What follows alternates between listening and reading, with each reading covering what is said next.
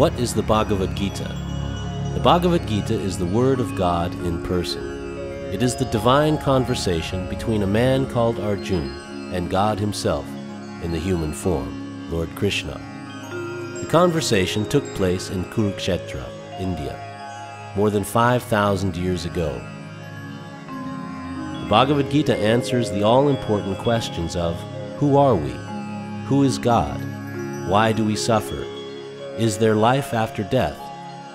Is there life on other planets? How do we become and remain happy in this and the next life? How can we attain the kingdom of God? This is a narration of the Bhagavad Gita verses published by the Bhaktivedanta Book Trust International, Los Angeles. English translation of the Sanskrit verses by His Divine Grace A.C. Bhaktivedanta Swami Prabhupada. Narrated by Tatikshava Karunaka Das. Produced by Kamlesh Patel.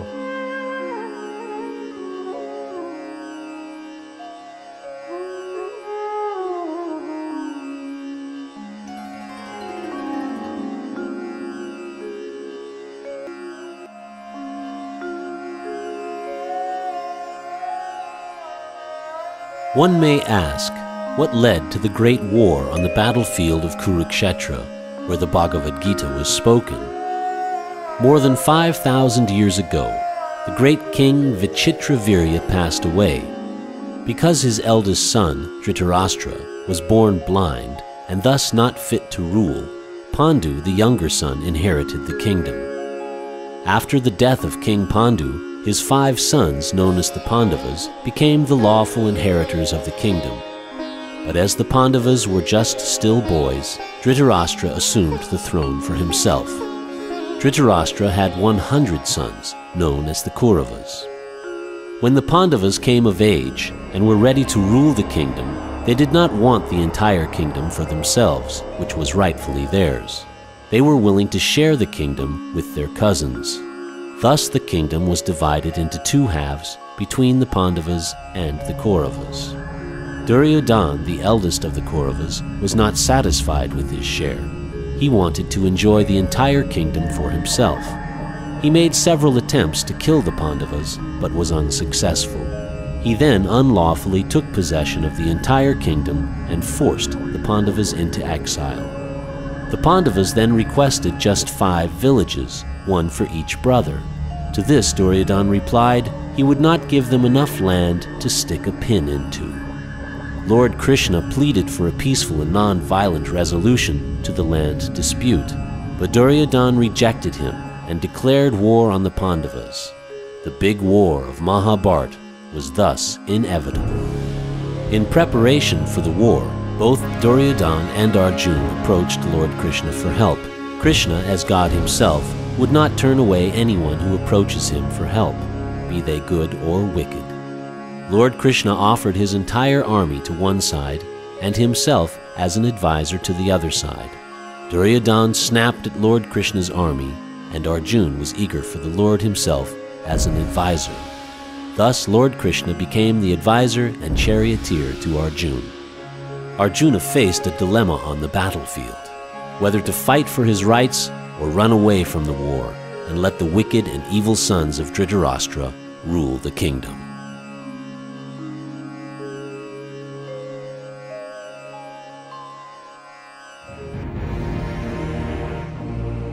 Bhagavad Gita, Chapter 1 Observing the Armies on the Battlefield of Kurukshetra. Dhritarashtra said, O Sanjaya, after my sons and the sons of Pandu assembled in the place of pilgrimage at Kurukshetra desiring to fight, what did they do? Sanjaya said, O king, after looking over the army arranged in military formation by the sons of Pandu, King Duryodhan went to his teacher and spoke the following words. O my teacher, behold the great army of the sons of Pandu, so expertly arranged by your intelligent disciple, the son of Drupada. Here in this army are many heroic bowmen, equal in fighting to Bhima and Arjun. Great fighters like Yuyudhana, Virata, and Drupada. There are also great heroic powerful fighters like Drishtaketu, Cekitana, Kasiraj, Purujit, Kuntibhoj, and Shaibya. There are the mighty Yudhamanyu, the very powerful Uttamauja, the son of Subhadra, and the sons of Draupadi. All these warriors are great chariot fighters. But for your information, O best of the Brahmanas, let me tell you about the captains who are especially qualified to lead my military force. There are personalities like you, Bhishma, Karna, Kripa, Ashvatama, Vikarna, and the son of Somadatta called Burishrava, who are always victorious in battle.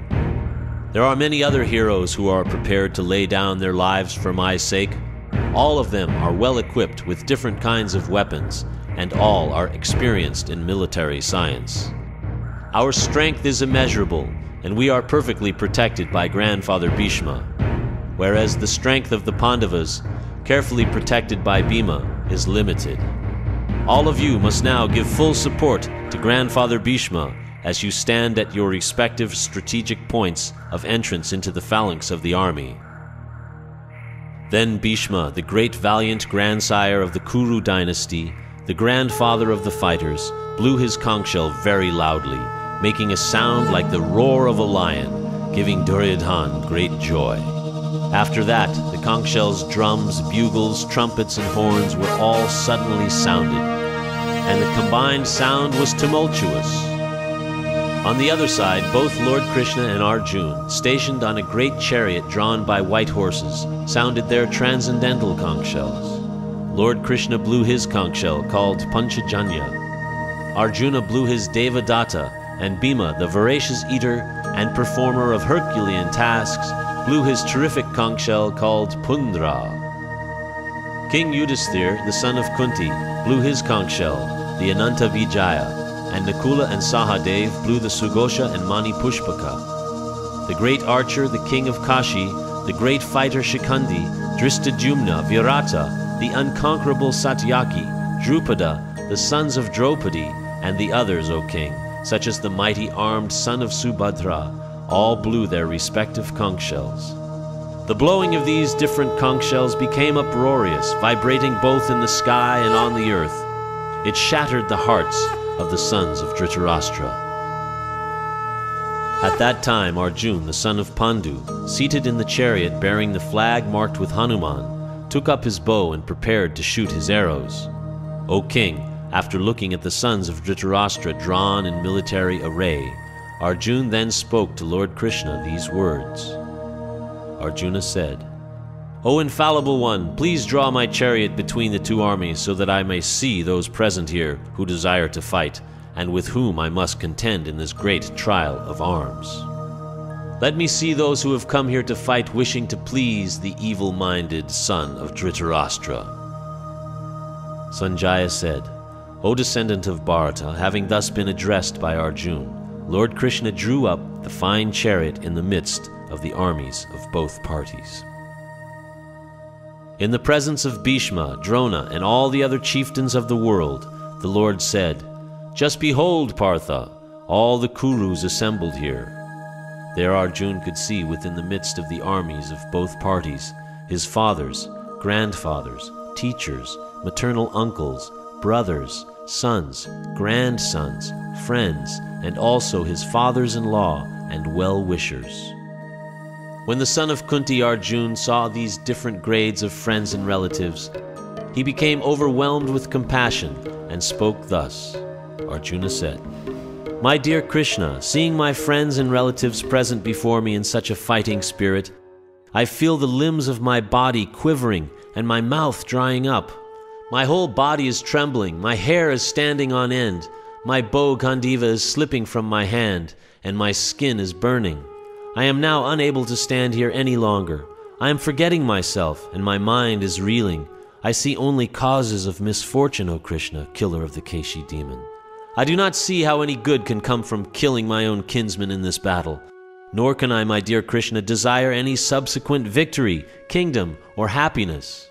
O Govinda, of what avail to us are a kingdom, happiness, or even life itself, when all those for whom we may desire them are now arrayed on this battlefield? O Madhusudana, when teachers, fathers, sons, grandfathers, maternal uncles, fathers in law, grandsons, brothers in law, and other relatives are ready to give up their lives and properties, and are standing before me, why should I wish to kill them, even though they might otherwise kill me? O maintainer of all living entities, I am not prepared to fight with them, even in exchange for the three worlds, let alone this earth. What pleasure will we derive from killing the sons of Dhritarashtra? Sin will overcome us if we slay such aggressors. Therefore, it is not proper for us to kill the sons of Dhritarashtra and our friends. What should we gain, O Krishna, husband of the goddess of fortune? And how could we be happy by killing our own kinsmen? O Janardana, although these men, their hearts overtaken by greed, see no fault in killing one's family or quarreling with friends, why should we, who can see the crime in destroying a family, engage in these acts of sin? With the destruction of dynasty, the eternal family tradition is vanquished, and thus the rest of the family becomes involved in irreligion. When irreligion is prominent in the family, O Krishna, the women of the family become polluted, and from the degradation of womanhood, O descendant of Vrishni, comes unwanted progeny. An increase of unwanted population certainly causes hellish life, both for the family and for those who destroy the family tradition. The ancestors of such corrupt families fall down, because the performances for offering them food and water are entirely stopped.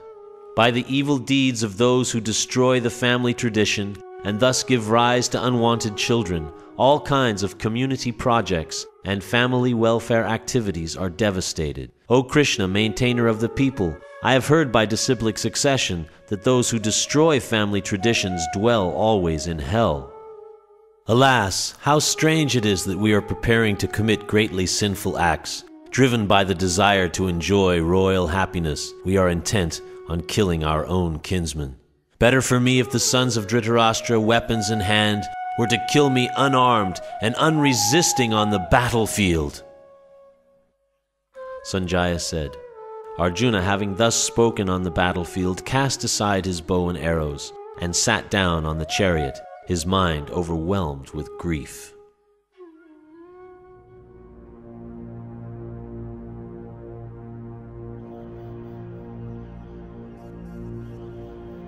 Chapter 2 Contents of the Gita Summarized.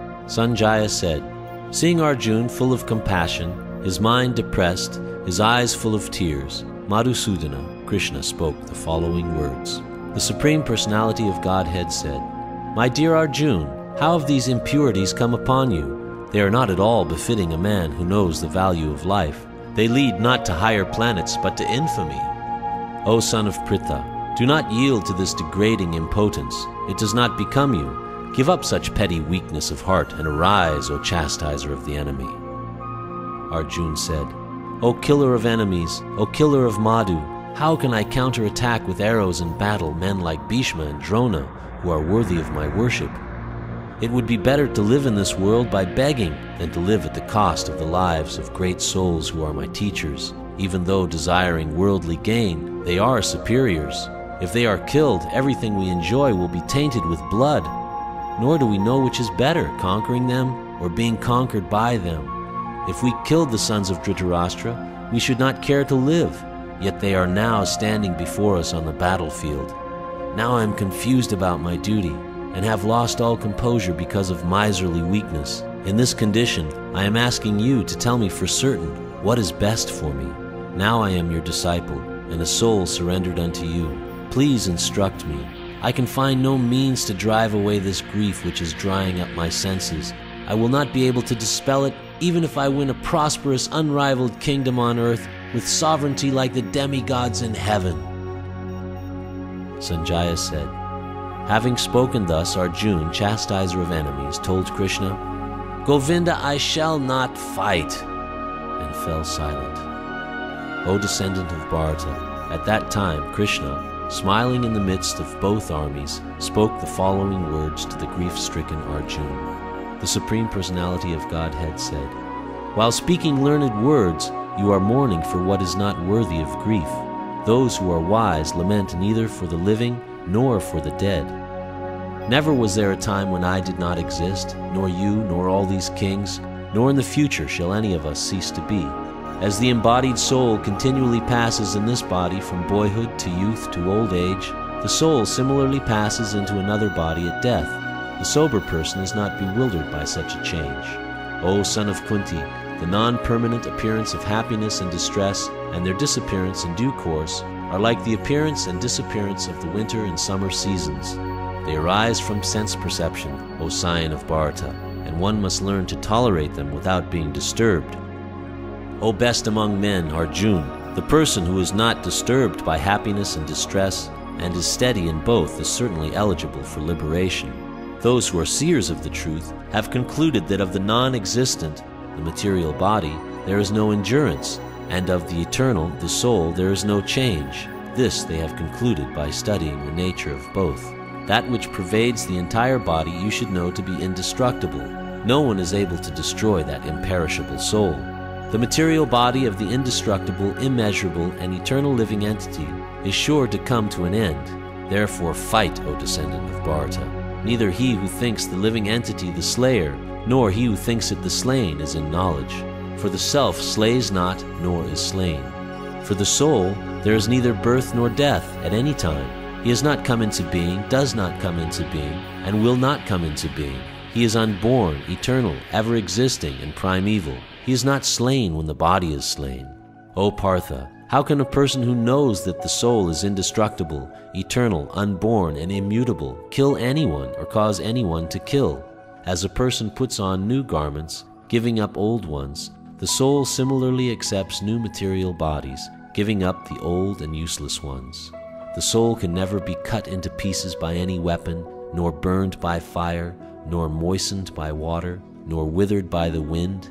This individual soul is unbreakable and insoluble, and can be neither burned nor dried. He is everlasting, present everywhere, unchangeable, immovable, and eternally the same. It is said that the soul is invisible, inconceivable, and immutable. Knowing this, you should not grieve for the body. If, however, you think the soul, or the symptoms of life, is always born and dies forever, you still have no reason to lament, O mighty armed. One who has taken his birth is sure to die, and after death one is sure to take birth again. Therefore, in the unavoidable discharge of your duty, you should not lament. All created beings are unmanifest in their beginning, manifest in their interim state, and unmanifest again when annihilated. So, what need is there for lamentation? Some look on the soul as amazing, some describe him as amazing, and some hear of him as amazing, while others, even after hearing about him, cannot understand him at all. O descendant of Bharata, he who dwells in the body can never be slain. Therefore, you need not grieve for any living being. Considering your specific duty as a Kshatriya, you should know that there is no better engagement for you than fighting on religious principles, and so there is no need for hesitation. O Partha, happy are the Kshatriyas to whom such fighting opportunities come unsought, opening for them the doors of the heavenly planets. If, however, you do not perform your religious duty of fighting, then you will certainly incur sins for neglecting your duties and thus lose your reputation as a fighter. People will always speak of your infamy, and for a respectable person, dishonor is worse than death. The great generals who have highly esteemed your name and fame will think that you have left the battlefield out of fear only, and thus they will consider you insignificant. Your enemies will describe you in many unkind words and scorn your ability. What could be more painful for you? O son of Kunti, either you will be killed on the battlefield and attain the heavenly planets, or you will conquer and enjoy the earthly kingdom. Therefore, get up with determination and fight. Do thou fight for the sake of fighting, without considering happiness or distress, loss or gain, victory or defeat, and by so doing you shall never incur sin. Thus far I have described this knowledge to you through analytical study. Now listen as I explain it in terms of working without fruit of results. O son of Pritha, when you act in such knowledge, you can free yourself from the bondage of works. In this endeavor there is no loss or diminution, and a little advancement on this path can protect one from the most dangerous type of fear. Those who are on this path are resolute in purpose, and their aim is one. O beloved child of the Kurus, the intelligence of those who are irresolute is many branched. Men of small knowledge are very much attached to the flowery words of the Vedas, which recommend various fruitive activities for elevation to heavenly planets, resultant good birth, power, and so forth. Being desirous of sense gratification and opulent life, they say that there is nothing more than this. In the minds of those who are too attached to sense enjoyment and material opulence, and who are bewildered by such things, the resolute determination for devotional service to the Supreme Lord does not take place. The Vedas deal mainly with the subject of the three modes of material nature. O Arjun, become transcendental to these three modes, be free from all dualities and from all anxiety for gain and safety, and be established in the self. All purposes served by a small well can at once be served by a great reservoir of water. Similarly, all the purposes of the Vedas can be served to one who knows the purpose behind them. You have a right to perform your prescribed duty, but you are not entitled to the fruits of action. Never consider yourself the cause of the results of your activities, and never be attached to not doing your duty. Perform your duty equipoised, O Arjun, abandoning all attachment to success or failure. Such equanimity is called yoga. O Dhananjaya, keep all abominable activities far distant by devotional service, and in that consciousness surrender unto the Lord. Those who want to enjoy the fruits of their work are misers. A man engaged in devotional service rids himself of both good and bad actions, even in this life. Therefore, strive for yoga, which is the art of all work. By thus engaging in devotional service to the Lord, great sages or devotees free themselves from the result of work in the material world. In this way, they become free from the cycle of birth and death and attain the state beyond all miseries by going back to Godhead. When your intelligence has passed out of the dense forest of delusion, you shall become indifferent to all that has been heard and all that is to be heard. When your mind is no longer disturbed by the flowery language of the Vedas, and when it remains fixed in the trance of self realization, then you will have attained the divine consciousness. Arjun said, O Krishna, what are the symptoms of one whose consciousness is thus merged in transcendence? How does he speak? And what is his language? How does he sit? And how does he walk? The Supreme Personality of Godhead said, O Partha, when a man gives up all varieties of desire for sense gratification, which arise from mental concoction, and when his mind, thus purified, finds satisfaction in the self alone, then he is said to be in pure transcendental consciousness. One who is not disturbed in mind even amidst the threefold miseries, or elated when there is happiness, and who is free from attachment, fear, and anger is called a sage of steady mind. In the material world, one who is unaffected by whatever good or evil he may obtain, neither praising it nor despising it, is firmly fixed in perfect knowledge. One who is able to withdraw his senses from sense objects, as the tortoise draws its limbs within the shell, is firmly fixed in perfect consciousness.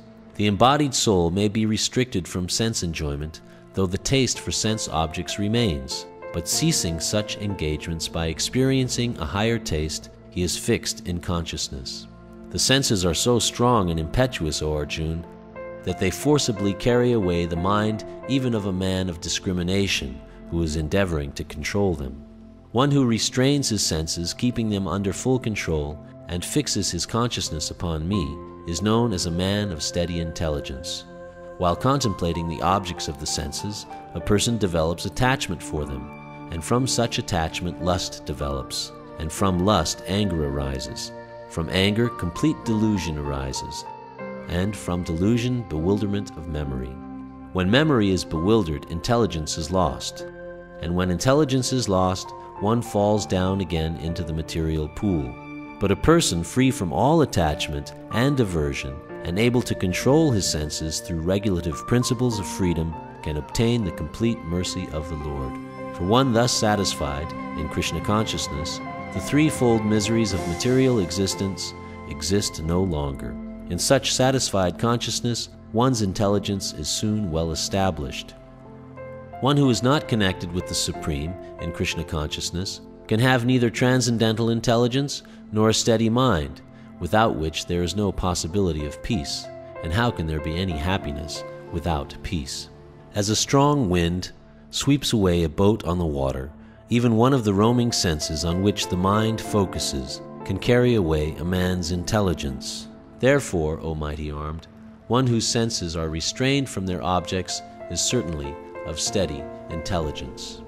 What is night for all beings is the time of awakening for the self controlled, and the time of awakening for all beings is night for the introspective sage. A person who is not disturbed by the incessant flow of desires that enter like rivers into the ocean, which is ever being filled but is always still, can alone achieve peace, and not the man who strives to satisfy such desires. A person who has given up all desires for sense gratification, who lives free from desires, who has given up all sense of proprietorship and is devoid of false ego, he alone can attain real peace. That is the way of spiritual and godly life, after attaining which a man is not bewildered. If one is thus situated, even at the hour of death, one can enter into the kingdom of God.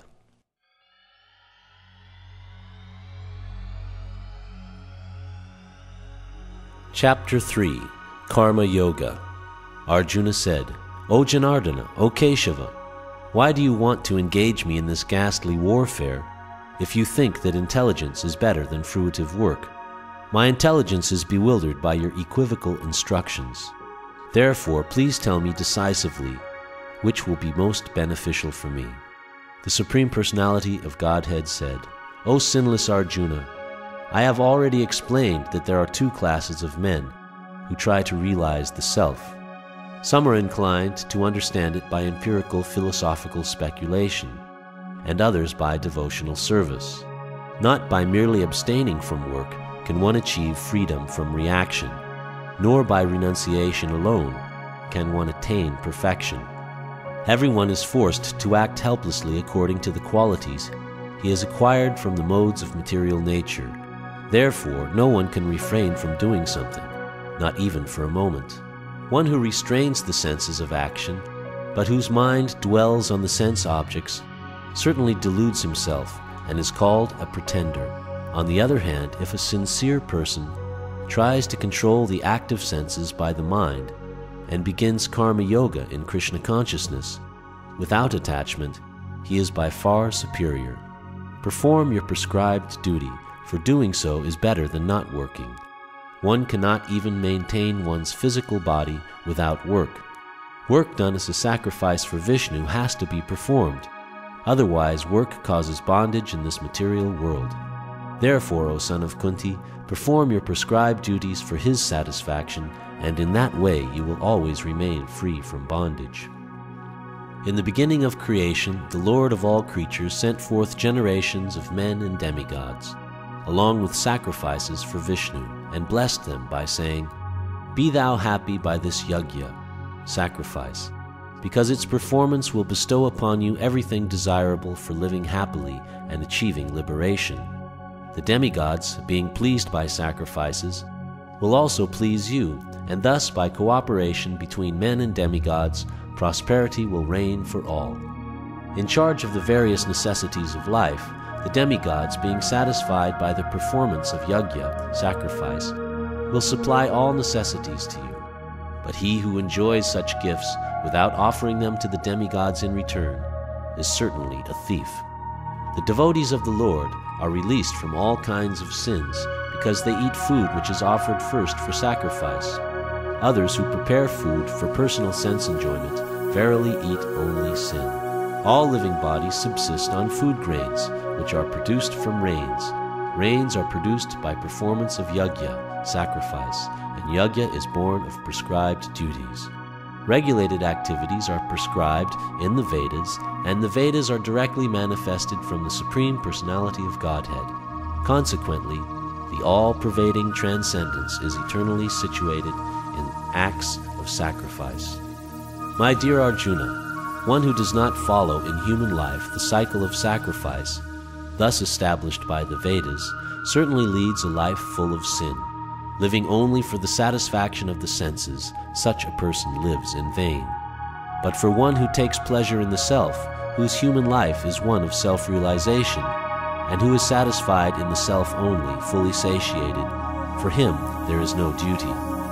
A self realized man has no purpose to fulfill in the discharge of his prescribed duties, nor has he any reason not to perform such work nor has he any need to depend on any other living being.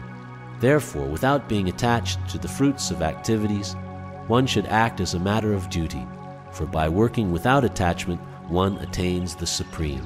Kings such as Janaka attained perfection solely by performance of prescribed duties.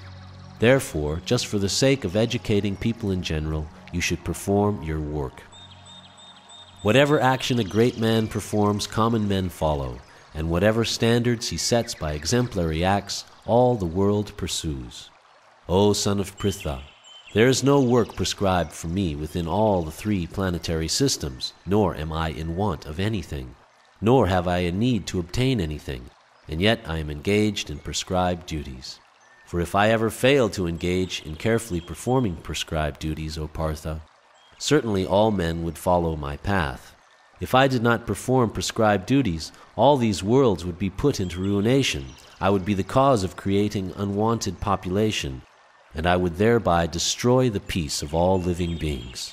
As the ignorant perform their duties with attachment to results, the learned may similarly act, but without attachment, for the sake of leading people on the right path, so as not to disrupt the minds of ignorant men attached to the fruit of results of prescribed duties. A learned person should not induce them to stop work. Rather, by working in the spirit of devotion, he should engage them in all sorts of activities for the gradual development of Krishna consciousness. The spirit soul, bewildered by the influence of false ego, thinks himself the doer of activities that are in actuality carried out by the three modes of material nature. One who is in knowledge of the absolute truth, Almighty Armed, does not engage himself in the senses and sense gratification, knowing well the differences between work in devotion and work for fruitive results.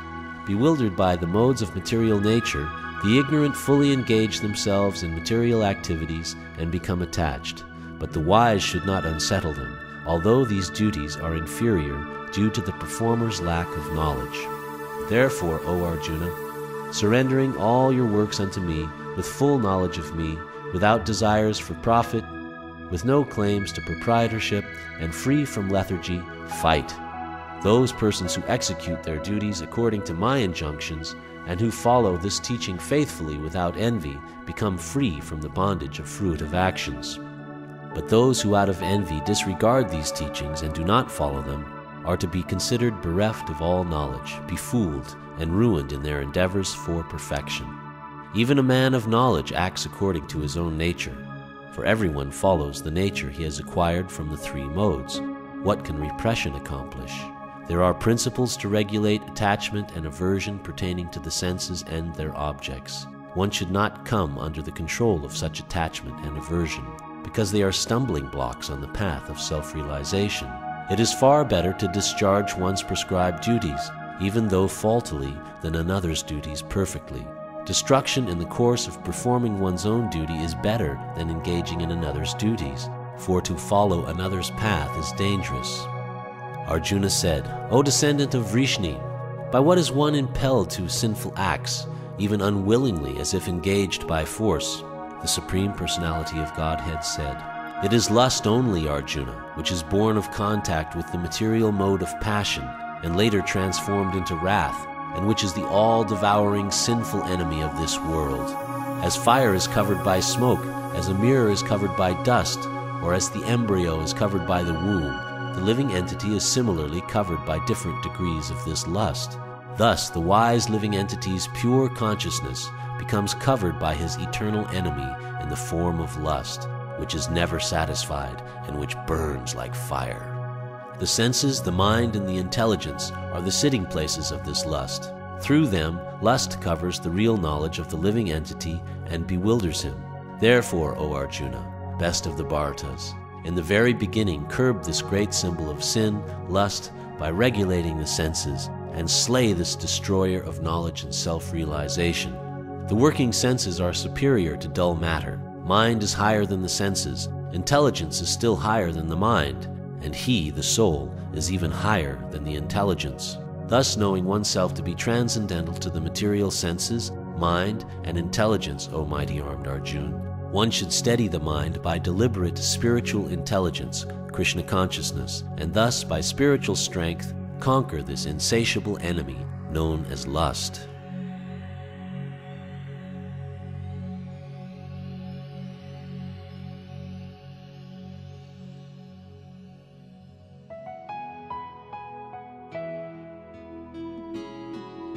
Chapter 4 Transcendental Knowledge The personality of Godhead, Lord Sri Krishna said, I instructed this imperishable science of yoga to the sun god, Vivasvan, and Vivasvan instructed it to Manu, the father of mankind, and Manu in turn instructed it to Ikshvaku.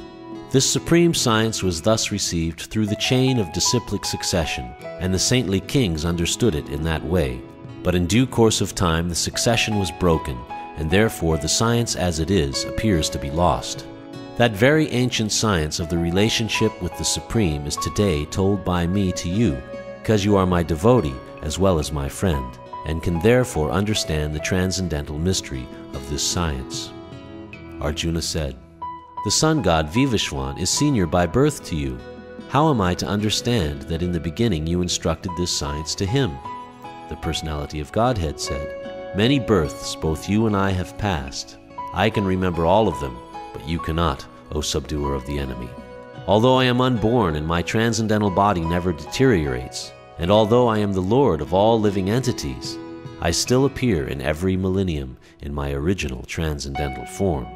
Whenever and wherever there is a decline in religious practice, O descendant of Bharata, and a predominant rise of irreligion, at that time I descend myself, to deliver the pious and to annihilate the miscreants as well as to re-establish the principles of religion, I myself appear millennium after millennium.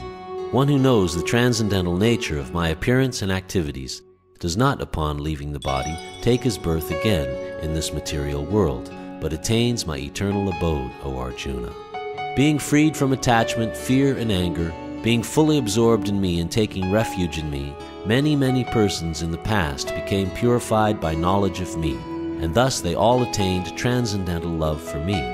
As all surrender unto me, I reward them accordingly. Everyone follows my path in all respects, O son of Pritha. Men in this world desire success and fruitive activities, and therefore they worship the demigods. Quickly, of course, men get results from fruitive work in this world. According to the three modes of material nature and the work associated with them, the four divisions of human society are created by me. And although I am the creator of this system, you should know that I am yet the non doer, being unchangeable. There is no work that affects me, nor do I aspire for the fruits of action. One who understands this truth about me also does not become entangled in the fruit of reactions of work. All the liberated souls in ancient times acted with this understanding of my transcendental nature. Therefore, you should perform your duty following in their footsteps. Even the intelligent are bewildered in determining what is action and what is inaction. Now I shall explain to you what action is, knowing which you shall be liberated from all misfortune. The intricacies of action are very hard to understand. Therefore, one should know properly what action is, what forbidden action is, and what inaction is. One who sees inaction in action and action in inaction is intelligent among men and he is in the transcendental position, although engaged in all sorts of activities. One who is understood to be in full knowledge, whose every endeavor is devoid of desire for sense gratification. He is said by sages to be a worker for whom the reactions of work have been burned up by the fire of perfect knowledge.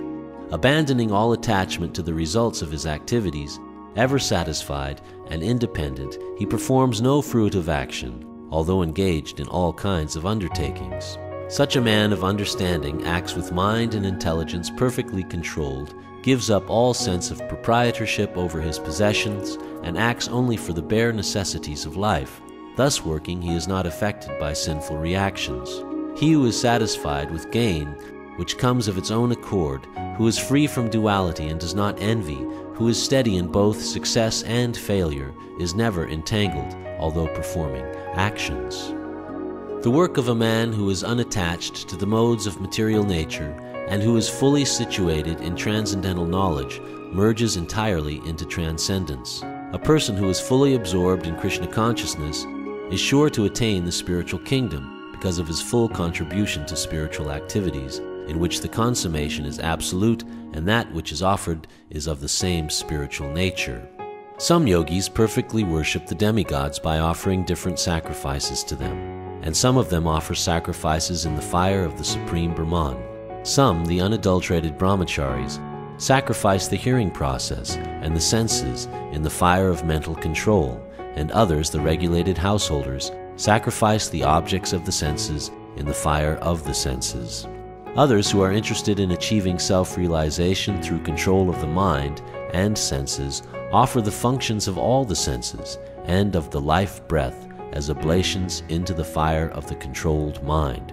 Having accepted strict vows, some become enlightened by sacrificing their possessions, and others by performing severe austerities, by practicing the yoga of eightfold mysticism, or by studying the Vedas to advance in transcendental knowledge.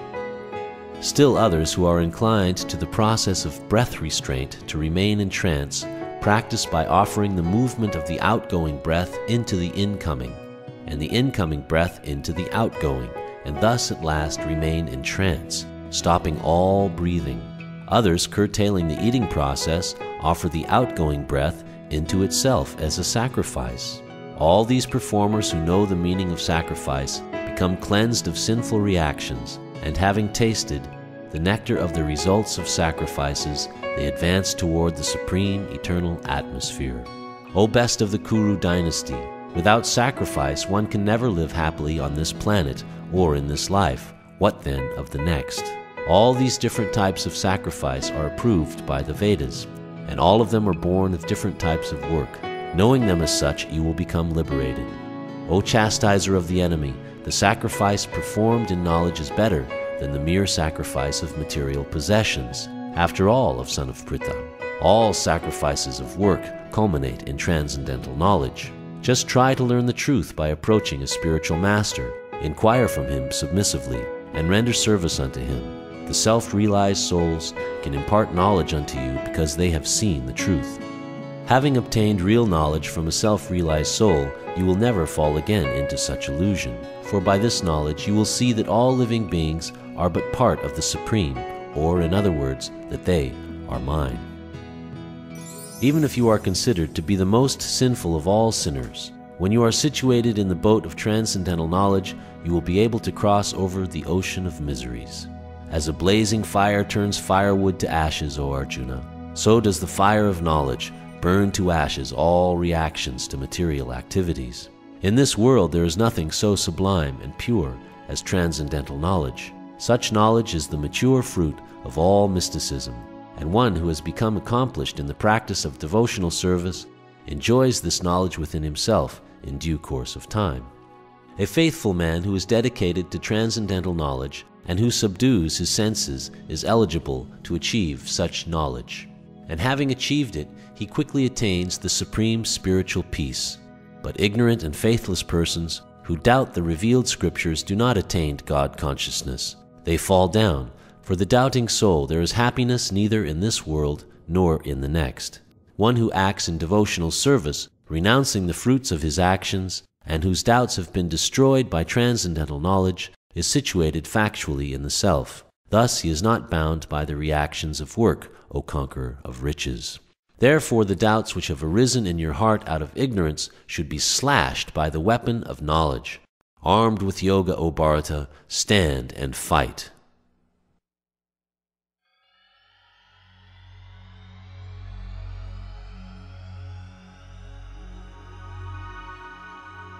Chapter 5 Karma Yoga Action in Krishna Consciousness. Arjuna said, O Krishna, first of all you ask me to renounce work, and then again you recommend work with devotion. Now, will you kindly tell me definitely which of the two is more beneficial? The personality of Godhead replied, The renunciation of work and work in devotion are both good for liberation, but of the two, work in devotional service is better than renunciation of work. One who neither hates nor desires the fruits of his activities is known to be always renounced. Such a person, free from all dualities, easily overcomes material bondage and is completely liberated, O mighty armed Arjuna. Only the ignorant speak of devotional service, karma yoga, as being different from the analytical study of the material world, Sankhya. Those who are actually learned say that he who applies himself well to one of these paths achieves the results of both. One who knows that the position reached by means of analytical study can also be attained by devotional service, and who therefore sees analytical study and devotional service to be on the same level, sees things as they are. Merely renouncing all activities, yet not engaging in the devotional service of the Lord, cannot make one happy. But a thoughtful person engaged in devotional service can achieve the supreme without delay. One who works in devotion, who is a pure soul, and who controls his mind and senses, is dear to everyone, and everyone is dear to him. Though always working, such a man is never entangled. A person in the divine consciousness, although engaged in seeing, hearing, touching, smelling, eating, moving about, sleeping, and breathing, always knows within himself that he actually does nothing at all. Because while speaking, evacuating, receiving, or opening or closing his eyes, he always knows that only the material senses are engaged with their objects and that he is aloof from them. One who performs his duty without attachment, surrendering the results unto the Supreme Lord, is unaffected by sinful action, as the lotus leaf is untouched by water. The yogis, abandoning attachment, act with body, mind, intelligence, and even with the senses, only for the purpose of purification. The steadily devoted soul attains unadulterated peace because he offers the result of all activities to me, whereas a person who is not in union with the divine, who is greedy for the fruits of his labor, becomes entangled. When the embodied living being controls his nature and mentally renounces all actions, he resides happily in the city of nine gates, the material body, neither working nor causing work to be done. The embodied spirit, master of the city of his body, does not create activities, nor does he induce people to act, nor does he create the fruits of action. All this is enacted by the modes of material nature. Nor does the Supreme Lord assume anyone's sinful or pious activities. Embodied beings, however, are bewildered because of the ignorance which covers their real knowledge. When, however, one is enlightened with the knowledge by which nescience is destroyed, then his knowledge reveals everything, as the sun lights up everything in the daytime. When one's intelligence, mind, faith, and refuge are all fixed in the Supreme, then one becomes fully cleansed of misgivings through complete knowledge and thus proceeds straight on the path of liberation. The humble sage, by virtue of true knowledge, sees with equal vision a learned and gentle Brahmana, a cow, an elephant, a dog, and a dog eater, outcast. Those whose minds are established in sameness and equanimity have already conquered the conditions of birth and death. They are flawless like Brahman, and thus they are already situated in Brahman. A person who neither rejoices upon achieving something pleasant nor laments upon obtaining something unpleasant who is self intelligent, who is unbewildered, and who knows the science of God, is already situated in transcendence. Such a liberated person is not attracted to material sense pleasure, but is always in trance, enjoying the pleasure within. In this way, the self realized person enjoys unlimited happiness, for he concentrates on the Supreme. An intelligent person does not take part in the sources of misery which are due to contact with the material senses.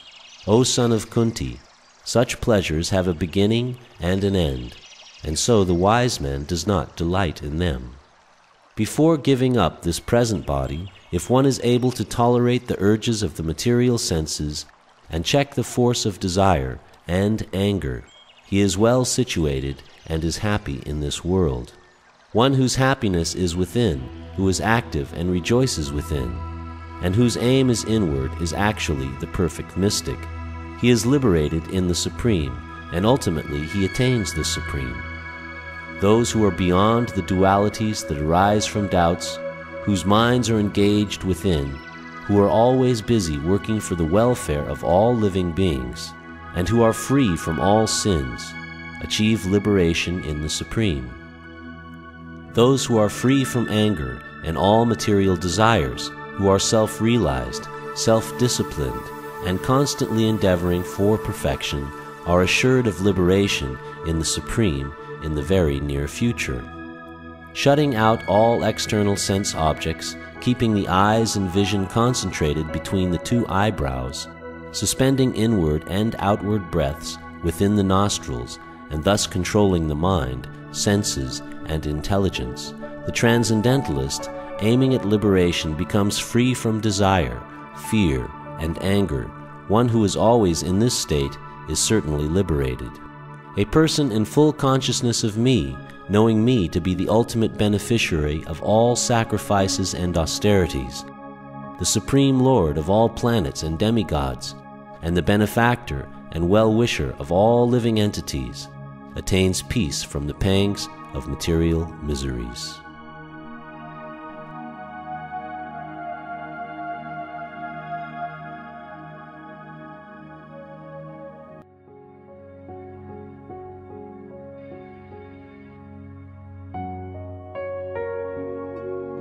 Chapter 6 Dhyana Yoga The Supreme Personality of Godhead said, One who is unattached to the fruits of his work and who works as he is obligated is in the renounced order of life, and he is the true mystic, not he who lights no fire and performs no duty. What is called renunciation, you should know to be the same as yoga, or linking oneself with the Supreme, O son of Pandu. For one can never become a yogi unless he renounces the desire for sense gratification. For one who is a neophyte in the Eightfold Yoga system, work is said to be the means and for one who is already elevated in yoga, cessation of all material activities is said to be the means. A person is said to be elevated in yoga when, having renounced all material desires, he neither acts for sense gratification nor engages in fruitive activities. One must deliver himself with the help of his mind and not degrade himself. The mind is the friend of the conditioned soul and his enemy as well. For him who has conquered the mind, the mind is the best of friends, but for one who has failed to do so, his mind will remain the greatest enemy. For one who has conquered the mind, the supersoul is already reached, for he has attained tranquility. To such a man, happiness and distress, heat and cold, honor and dishonor are all the same. A person is said to be established in self realization and is called a yogi or mystic when he is fully satisfied by virtue of acquired knowledge and realization. Such a person is situated in transcendence and is self controlled. He sees everything, whether it be pebbles, stones, or gold, as the same. A person is considered still further advanced when he regards honest well wishers, affectionate benefactors, the neutral, mediators, the envious, friends and enemies, the pious and the sinners, all with an equal mind. A transcendentalist should always engage his body, mind, and self in relationship with the Supreme. He should live alone in a secluded place and should always carefully control his mind. He should be free from desires and feelings of possessiveness. To practice yoga, one should go to a secluded place and should lay kusha grass on the ground and then cover it with a deerskin and a soft cloth. The seat should be neither too high nor too low, and should be situated in a sacred place. The yogi should then sit on it very firmly and practice yoga to purify the heart by controlling his mind, senses, and activities and fixing the mind on one point. One should hold one's body, neck, and head erect in a straight line and stare steadily at the tip of the nose. Thus, with an unagitated, subdued mind, devoid of fear, completely free from sex life, one should meditate upon me within the heart and make me the ultimate goal of life. Thus, practicing constant control of the body, mind, and activities, the mystic transcendentalist, his mind regulated, attains to the kingdom of God, or the abode of Krishna, by cessation of material existence. There is no possibility of one's becoming a yogi, O Arjuna, if one eats too much or eats too little, sleeps too much or does not sleep enough. He who is regulated in his habits of eating, sleeping, recreation, and work can mitigate all material pains by practicing the yoga system. When the yogi, by practice of yoga, disciplines his mental activities and becomes situated in transcendence, devoid of all material desires, he is said to be well established in yoga. As a lamp in a windless place does not waver, so the transcendentalist, whose mind is controlled, remains always steady in his meditation on the transcendent self. In the stage of perfection called trance or samadhi, one's mind is completely restrained from material mental activities by practice of yoga. This perfection is characterized by one's ability to see the self by the pure mind and to relish and rejoice in the self. In that joyous state, one is situated in boundless transcendental happiness, realized through transcendental senses. Established thus, one never departs from the truth, and upon gaining this, he thinks there is no greater gain. Being situated in such a position, one is never shaken, even in the midst of greatest difficulty. This indeed is actual freedom from all miseries arising from material contact.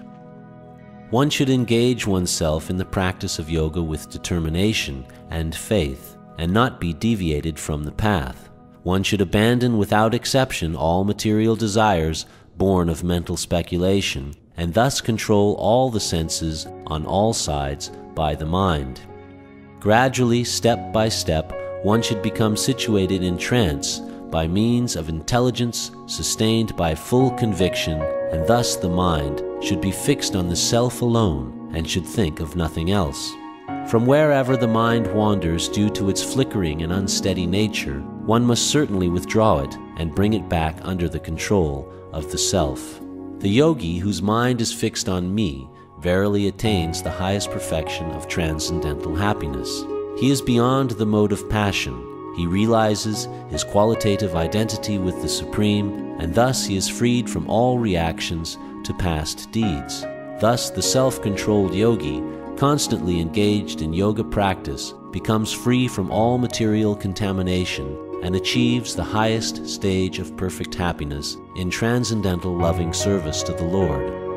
A true yogi observes me in all beings and also sees every being in me. Indeed, the self realized person sees me, the same Supreme Lord, everywhere. For one who sees me everywhere and sees everything in me, I am never lost, nor is he ever lost to me. Such a yogi who engages in the worshipful service of the Supersoul, knowing that I and the Supersoul are one, remains always in me in all circumstances. He is a perfect yogi who, by comparison to his own self, sees the true equality of all beings in both their happiness and their distress, O Arjuna. Arjuna said, O Madhusudana, the system of yoga which you have summarized appears impractical and unendurable to me, for the mind is restless and unsteady. For the mind is restless, turbulent, obstinate, and very strong, O Krishna, and to subdue it I think is more difficult than controlling the wind. Lord Sri Krishna said, O mighty armed son of Kunti, it is undoubtedly very difficult to curb the restless mind, but it is possible by suitable practice and by detachment. For one whose mind is unbridled, Self realization is difficult work, but he whose mind is controlled and who strives by appropriate means is assured of success. That is my opinion. Arjuna said, O Krishna, what is the destination of the unsuccessful transcendentalist, who in the beginning takes to the process of self realization with faith, but who later desists due to worldly mindedness, and thus does not attain perfection in mysticism? O mighty armed Krishna, does not such a man who is bewildered from the path of transcendence fall away from both spiritual and material success and perish like a riven cloud with no position in any sphere? This is my doubt, O Krishna, and I ask you to dispel it completely. But for you, no one is to be found who can destroy this doubt.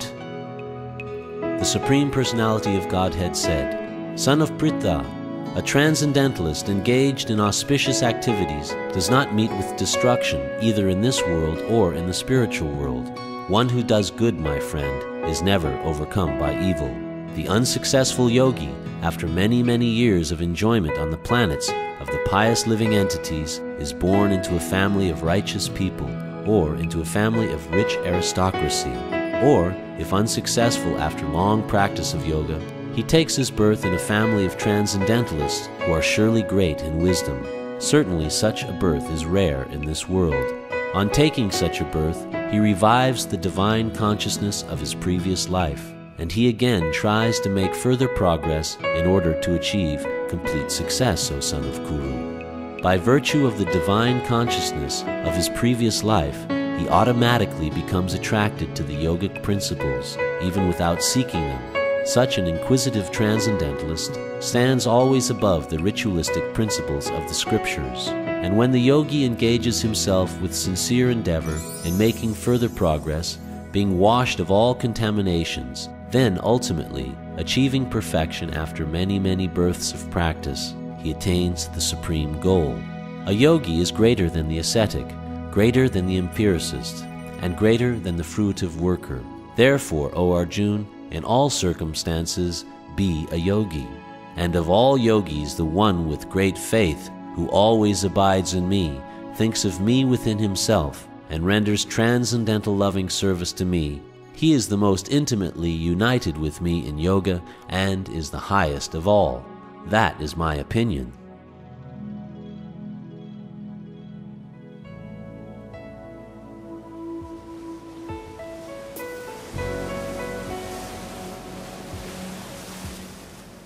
Chapter 7 Knowledge of the Absolute. The Supreme Personality of Godhead said, Now hear, O son of Pritha, how by practicing yoga in full consciousness of me, with mind attached to me, you can know me in full, free from doubt. I shall now declare unto you in full this knowledge, both phenomenal and numinous. This being known, nothing further shall remain for you to know. Out of many thousands among men, one may endeavor for perfection, and of those who have achieved perfection, hardly one knows me in truth. Earth, water, fire, air, ether, mind, intelligence, and false ego, all together these eight constitute my separate material energies. Besides these, O mighty armed Arjuna, there is another superior energy of mine, which comprises the living entities who are exploiting the resources of this material inferior nature. All created beings have their source in these two natures. Of all that is material all that is spiritual in this world, know for certain that I am both the origin and the dissolution. O conqueror of wealth, there is no truth superior to me. Everything rests upon me as pearls are strung on a thread. O son of Kunti, I am the taste of water, the light of the sun and the moon, the syllable Om in the Vedic mantras. I am the sound in ether and the ability in man. I am the original fragrance of the earth, and I am the heat and fire. I am the life of all that lives, and I am the penances of all ascetics. O son of Pritha, know that I am the original seed of all existence, the intelligence of the intelligent, and the prowess of all powerful men. I am the strength of the strong, devoid of passion and desire. I am sex life which is not contrary to religious principles. O Lord of the Bharatas, Arjun, know that all states of being, be they of goodness, passion, or ignorance, are manifested by my energy. I am in one sense everything, but I am independent.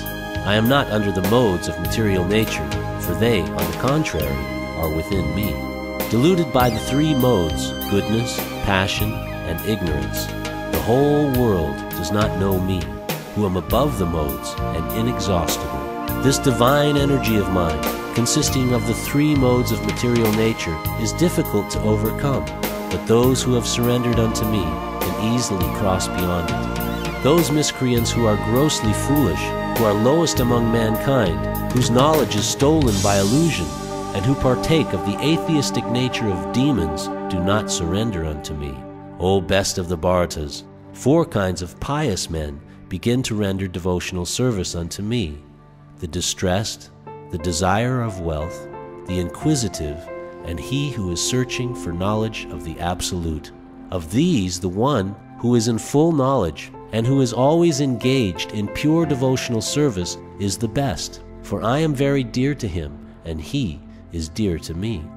All these devotees are undoubtedly magnanimous souls, but he who is situated in knowledge of me I consider to be like my own self. Being engaged in my transcendental service, he is sure to attain me, the highest and most perfect goal. After many births and deaths, he who is actually in knowledge surrenders unto me, knowing me to be the cause of all causes and all that is. Such a great soul is very rare. Those whose intelligence has been stolen by material desires surrender unto demigods and follow the particular rules and regulations of worship according to their own natures. I am in everyone's heart as the supersoul. As soon as one desires to worship some demigod, I make his faith steady so that he can devote himself to that particular deity. Endowed with such a faith, he endeavors to worship a particular demigod and obtains his desires. But in actuality, these benefits are bestowed by me alone. Men of small intelligence worship the demigods, and their fruits are limited and temporary. Those who worship the demigods go to the planets of the demigods, but my devotees ultimately reach my supreme planet. Unintelligent men who do not know me perfectly think that I, the Supreme Personality of Godhead, Krishna, was impersonal before and have now assumed this personality. Due to their small knowledge, they do not know my higher nature which is imperishable and supreme. I am never manifest to the foolish and the unintelligent. For them I am covered by my internal potency, and therefore they do not know that I am unborn and infallible. O Arjuna, as the Supreme Personality of Godhead, I know everything that has happened in the past, and all that is happening in the present, and all things that are yet to come. I also know all living entities, but me no one knows.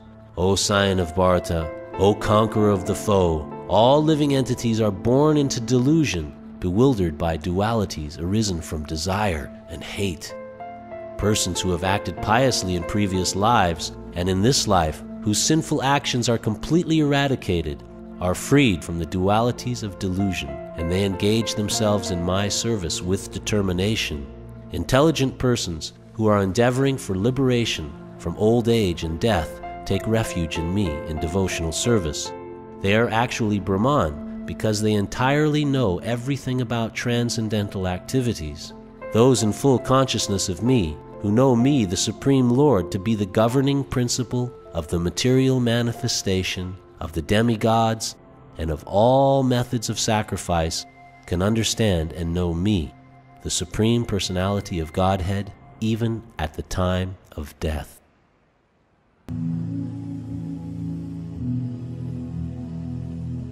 Chapter 8 Attaining the Supreme Arjuna inquired, O my Lord, O Supreme Person, what is Brahman? What is the Self?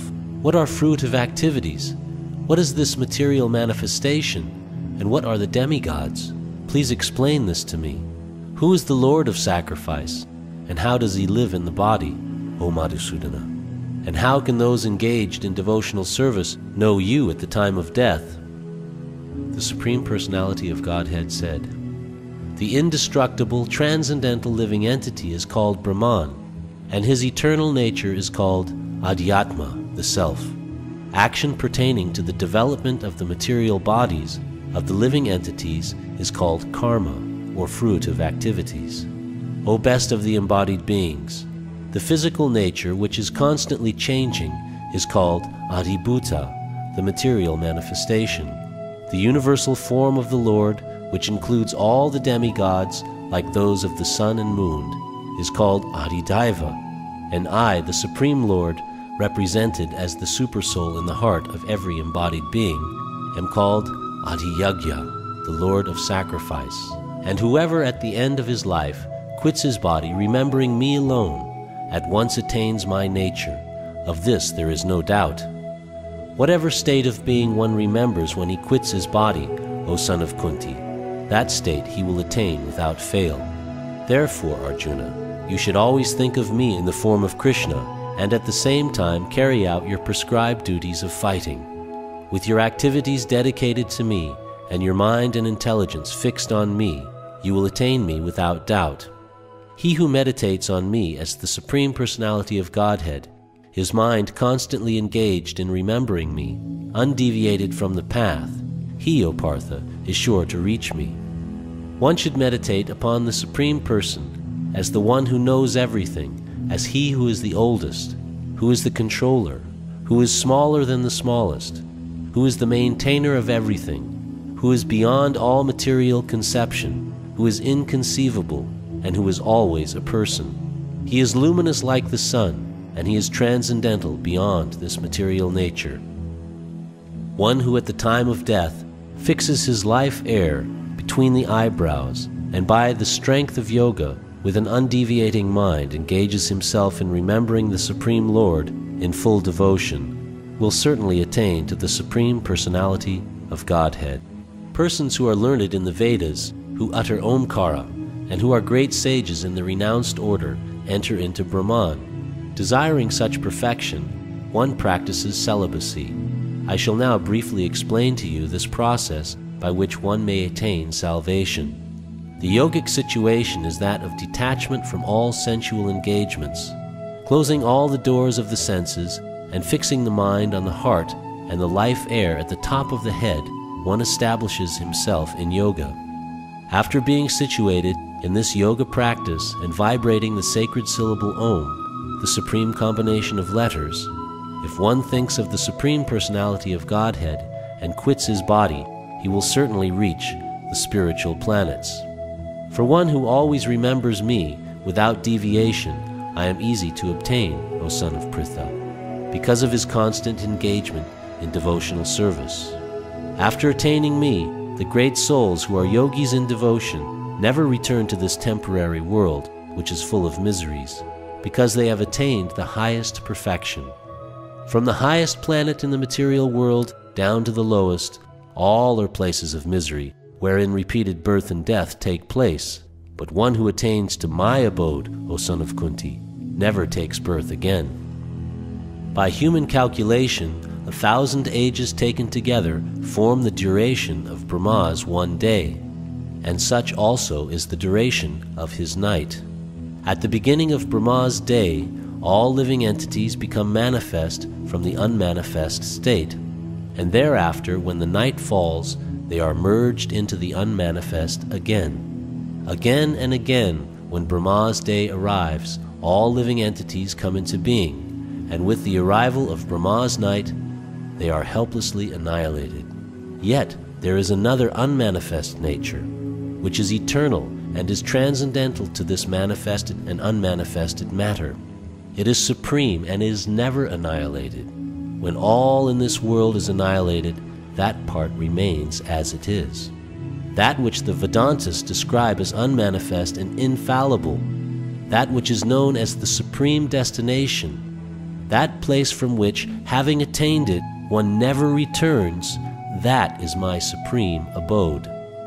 The Supreme Personality of Godhead, who is greater than all, is attainable by unalloyed devotion. Although he is present in his abode, he is all pervading, and everything is situated within him.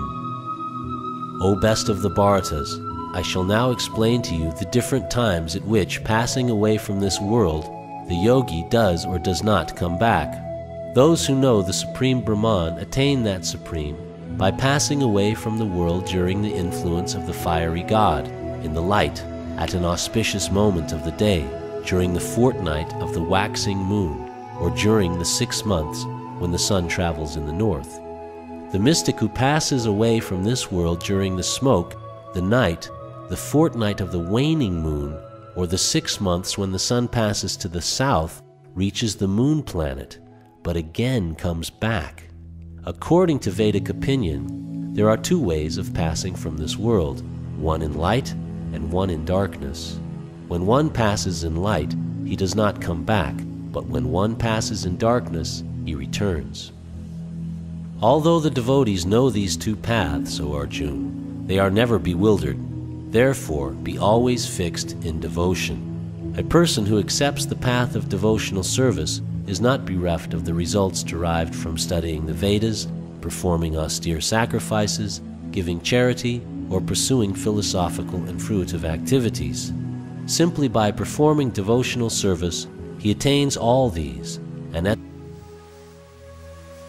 Chapter 9 The Most Confidential Knowledge the Supreme Personality of Godhead said, My dear Arjuna, because you are never envious of me, I shall impart to you this most confidential knowledge and realization, knowing which you shall be relieved of the miseries of material existence. This knowledge is the king of education, the most secret of all secrets. It is the purest knowledge, and because it gives direct perception of the self by realization, it is the perfection of religion. It is everlasting, and it is joyfully performed. Those who are not faithful in this devotional service cannot attain me, O conqueror of enemies. Therefore they return to the path of birth and death in this material world. By me, in my unmanifested form, this entire universe is pervaded. All beings are in me, but I am not in them. And yet everything that is created does not rest in me. Behold my mystic opulence. Although I am the maintainer of all living entities, and although I am everywhere, I am not a part of this cosmic manifestation. For myself is the very source of creation. Understand that as the mighty wind blowing everywhere rests always in the sky, all created beings rest in me. O son of Kunti, at the end of the millennium, all material manifestations enter into my nature, and at the beginning of another millennium, by my potency, I create them again. The whole cosmic order is under me. Under my will, it is automatically manifested again and again, and under my will, it is annihilated at the end. O Dhananjaya, all this work cannot bind me. I am ever detached from all these material activities, seated as though neutral. This material nature, which is one of my energies, is working under my direction, O son of Kunti, producing all moving and non moving beings. Under its rule, this manifestation is created and annihilated again and again. Fools deride me when I descend in the human form. They do not know my transcendental nature as the Supreme Lord of all that be. Those who are thus bewildered are attracted by demoniac and atheistic views. In that deluded condition, their hopes for liberation, their fruitive activities, and their culture of knowledge are all defeated. O son of Pritha, those who are not deluded, the great souls, are under the protection of the divine nature. They are fully engaged in devotional service because they know me as the Supreme Personality of Godhead, original and inexhaustible always chanting my glories, endeavoring with great determination, bowing down before me, these great souls perpetually worship me with devotion. Others who engage in sacrifice by the cultivation of knowledge worship the Supreme Lord as the one without a second, as diverse in many, and in the universal form. But it is I who am the ritual, I the sacrifice, the offering to the ancestors, the healing herb, the transcendental chant. I am the butter, and the fire and the offering. I am the father of this universe, the mother, the support, and the grandsire. I am the object of knowledge, the purifier, and the syllable Om. I am also the Rig, the Sama, and the Yajur Vedas. I am the goal, the sustainer, the master, the witness, the abode, the refuge, and the most dear friend. I am the creation and the annihilation, the basis of everything, the resting place, and the eternal seed. O Arjuna, I give heat, and I withhold and send forth the rain. I am immortality, and I am also death personified. Both spirit and matter are in me. Those who study the Vedas and drink the Soma juice, seeking the heavenly planets, worship me indirectly. Purified of sinful reactions, they take birth on the pious heavenly planet of Indra, where they enjoy godly delights. When they have thus enjoyed vast heavenly sense pleasure, and the results of their pious activities are exhausted, they return to this mortal planet again. Thus, those who seek sense enjoyment by adhering to the principles of the three Vedas achieve only repeated birth and death. But those who always worship me with exclusive devotion, meditating on my transcendental form, to them I carry what they lack and preserve what they have. Those who are devotees of other gods and who worship them with faith actually worship only me, O son of Kunti, but they do so in a wrong way. I am the only enjoyer and master of all sacrifices. Therefore, those who do not recognize my true transcendental nature fall down. Those who worship the demigods will take birth among the demigods. Those who worship the ancestors go to the ancestors. Those who worship ghosts and spirits will take birth among such beings, and those who worship me will live with me.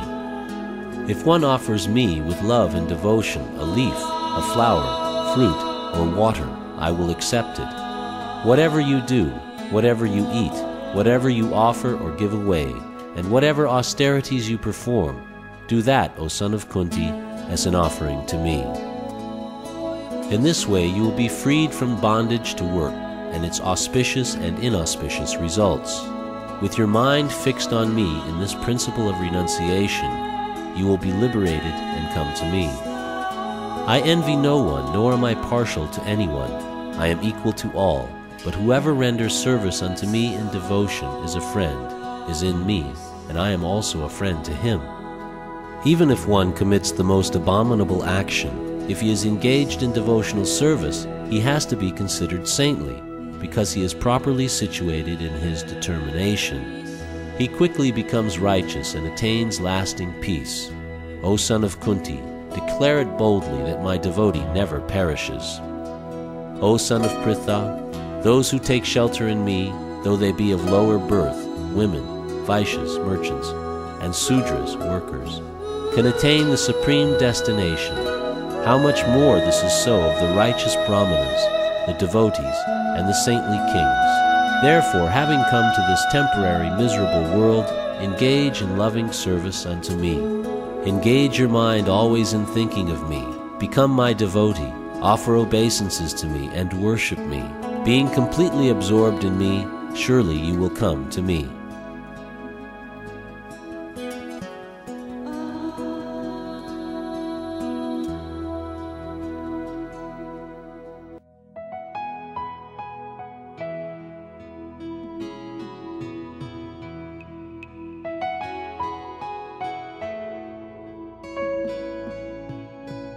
Chapter 10 The Opulence of the Absolute the Supreme Personality of Godhead said, Listen again, O mighty armed Arjuna.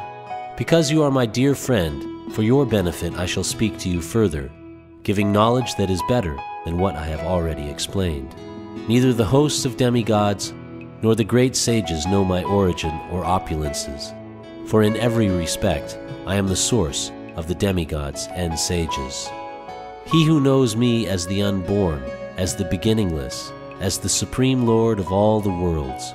He only, undiluted among men, is freed from all sins.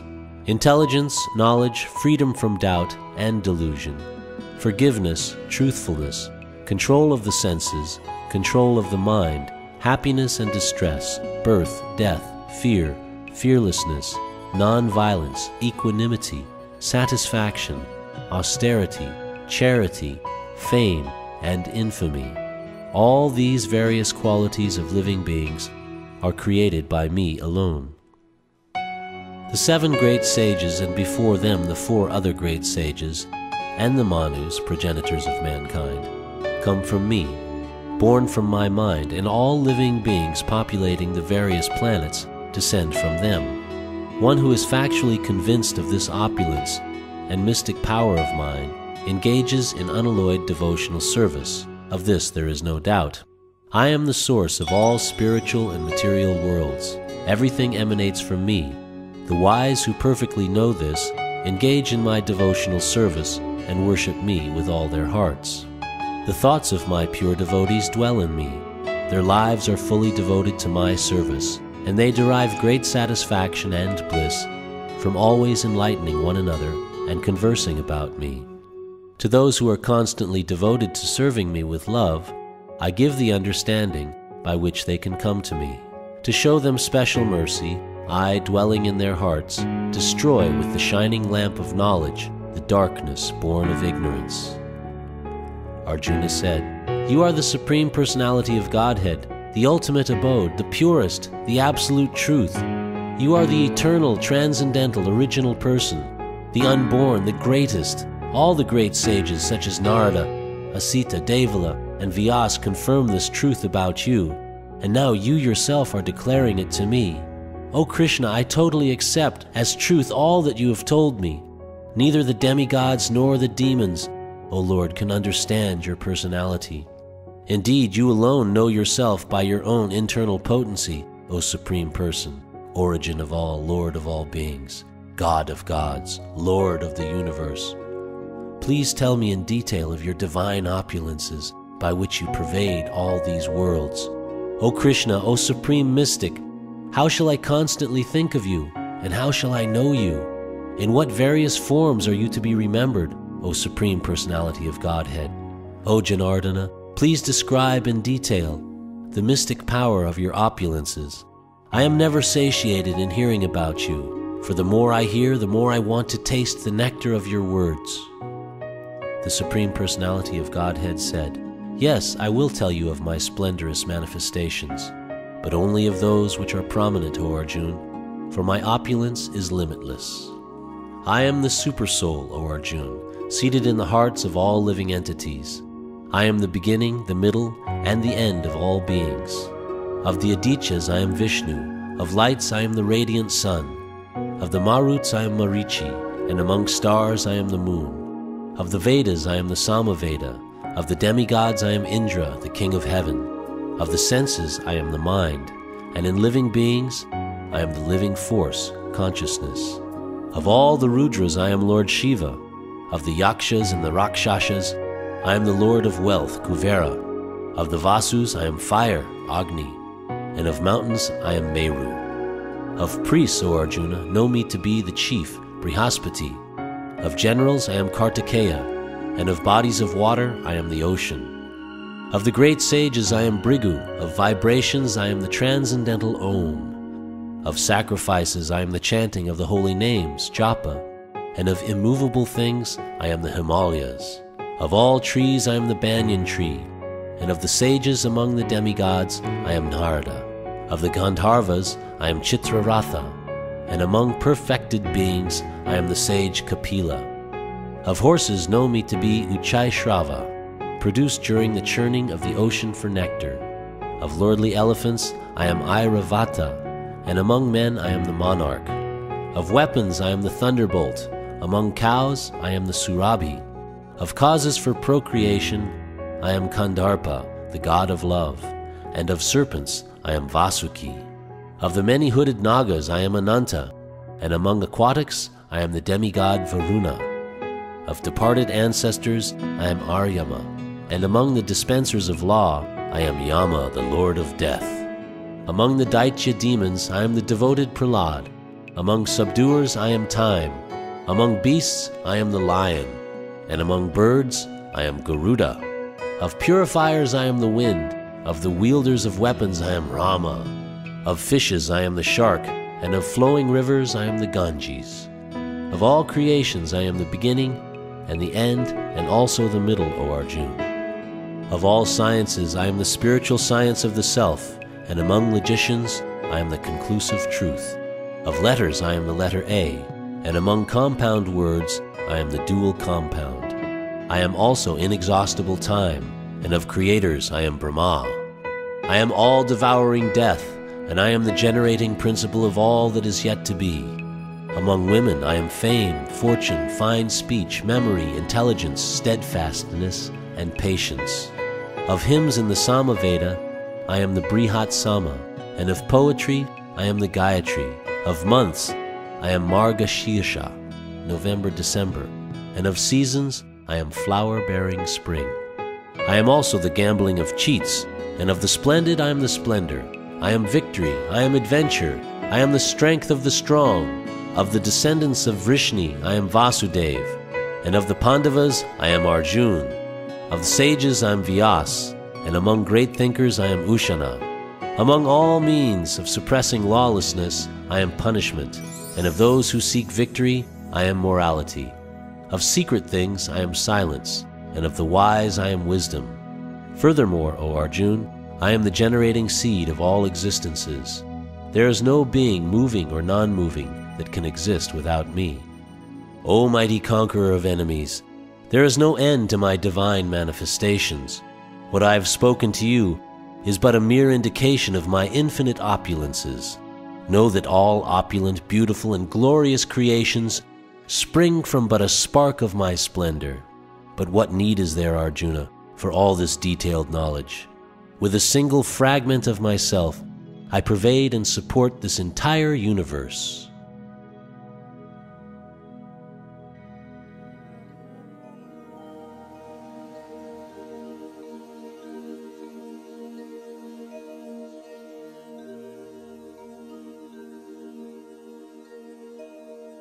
Chapter 11 The Universal Form Arjuna said, By my hearing the instructions you have kindly given me about these most confidential spiritual subjects, my illusion has now been dispelled.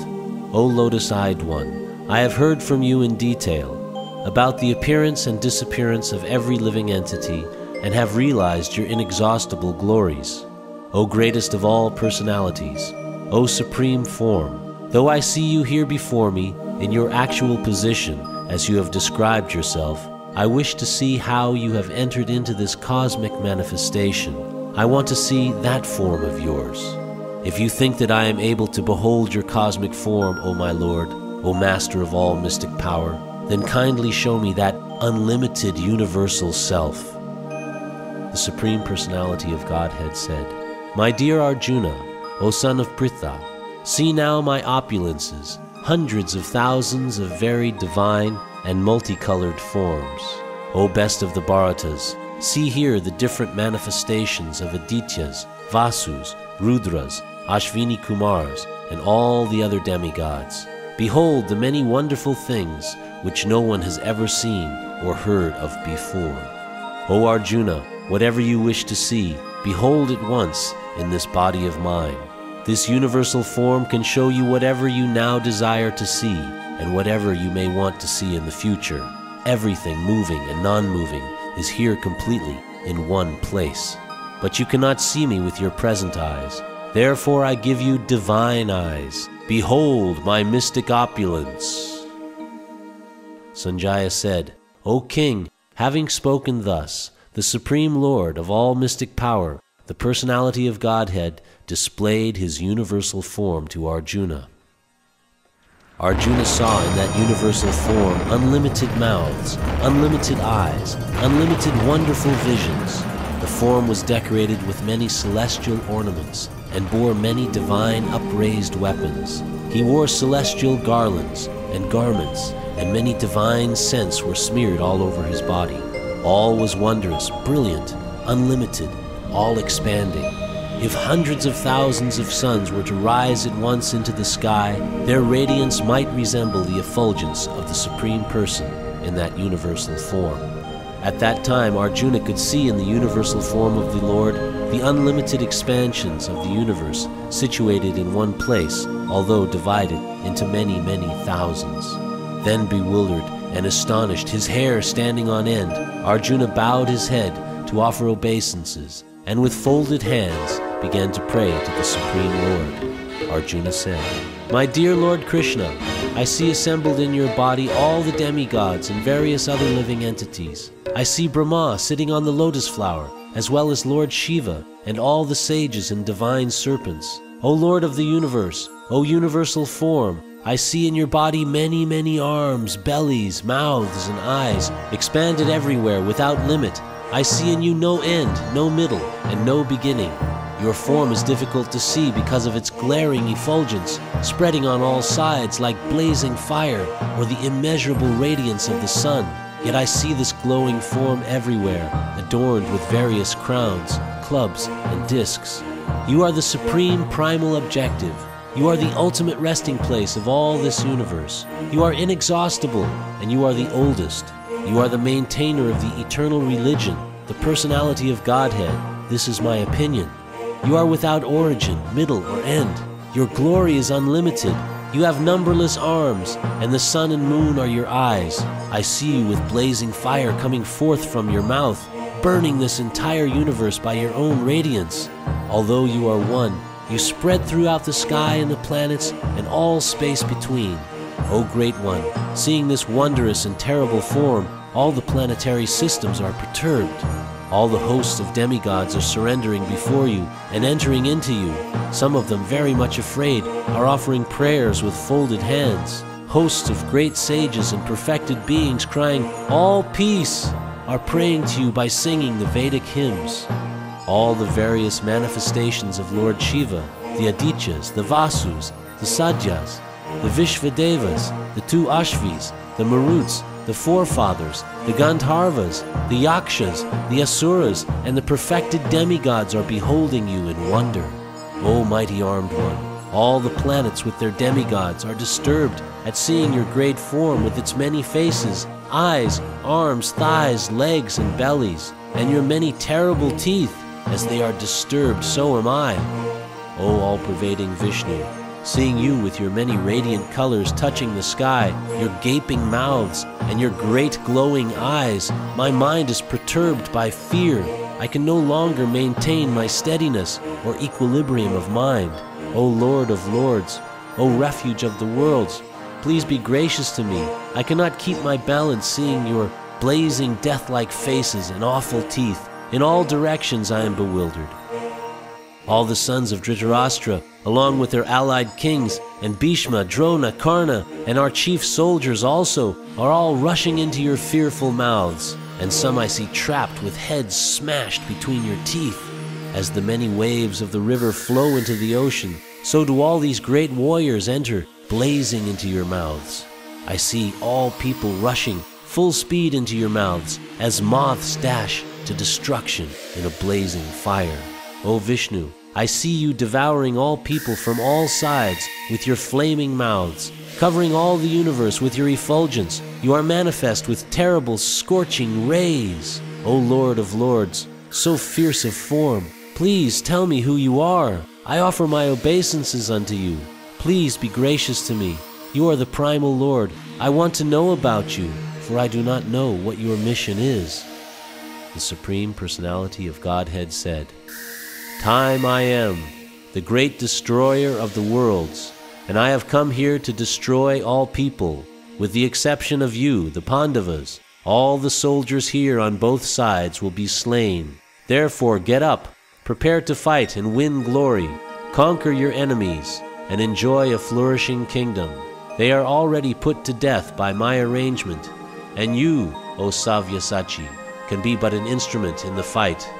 Drona, Bhishma, Jayadratha, Karna, and the other great warriors have already been destroyed by me. Therefore, kill them and do not be disturbed. Simply fight, and you will vanquish your enemies in battle. Sanjaya said to Dhritarashtra, O king, after hearing these words from the Supreme Personality of Godhead, the trembling Arjuna offered obeisances with folded hands again and again. He fearfully spoke to Lord Krishna in a faltering voice as follows Arjuna said, O Master of the senses, the world becomes joyful upon hearing your name, and thus everyone becomes attached to you. Although the perfected beings offer you their respectful homage, the demons are afraid, and they flee here and there. All this is rightly done. O Great One, greater even than Brahma, you are the original creator. Why then should they not offer their respectful obeisances unto you? O Limitless One, God of gods, refuge of the universe, you are the invincible source, the cause of all causes, transcendental to this material manifestation. You are the original personality of Godhead, the oldest, the ultimate sanctuary of this manifested cosmic world. You are the knower of everything, and you are all that is knowable. You are the supreme refuge above the material modes. O limitless form, this whole cosmic manifestation is pervaded by you. You are the air, and you are the supreme controller. You are fire, you are water, and you are the moon. You are Brahma, the first living creature, and you are the great grandfather. I therefore offer my respectful obeisances unto you a thousand times, and again, and yet again. Obeisances to you from the front, from behind, and from all sides. O unbounded power, you are the master of limitless might. You are all pervading, and thus you are everything. Thinking of you as my friend, I have rashly addressed you, O Krishna, O Yadava, O my friend, not knowing your glories. Please forgive whatever I may have done in madness or in love. I have dishonored you many times, jesting as we relaxed, lay on the same bed, or sat or ate together, sometimes alone, and sometimes in front of many friends. O infallible one, please excuse me for all those offenses. You are the Father of this complete cosmic manifestation, of the moving and the non moving. You are its worshipable chief, the supreme spiritual master. No one is equal to you, nor can anyone be one with you. How then could there be anyone greater than you within the three worlds, O Lord of immeasurable power? You are the supreme Lord, to be worshipped by every living being. Thus I fall down to offer you my respectful obeisances and ask your mercy. As a father tolerates the impudence of his son, or a friend tolerates the impertinence of a friend, or a wife tolerates the familiarity of her partner, please tolerate the wrongs I may have done you. After seeing this universal form, which I have never seen before, I am gladdened, but at the same time my mind is disturbed with fear. Therefore, please bestow your grace upon me and reveal again your form as the personality of Godhead, O Lord of Lords, O abode of the universe.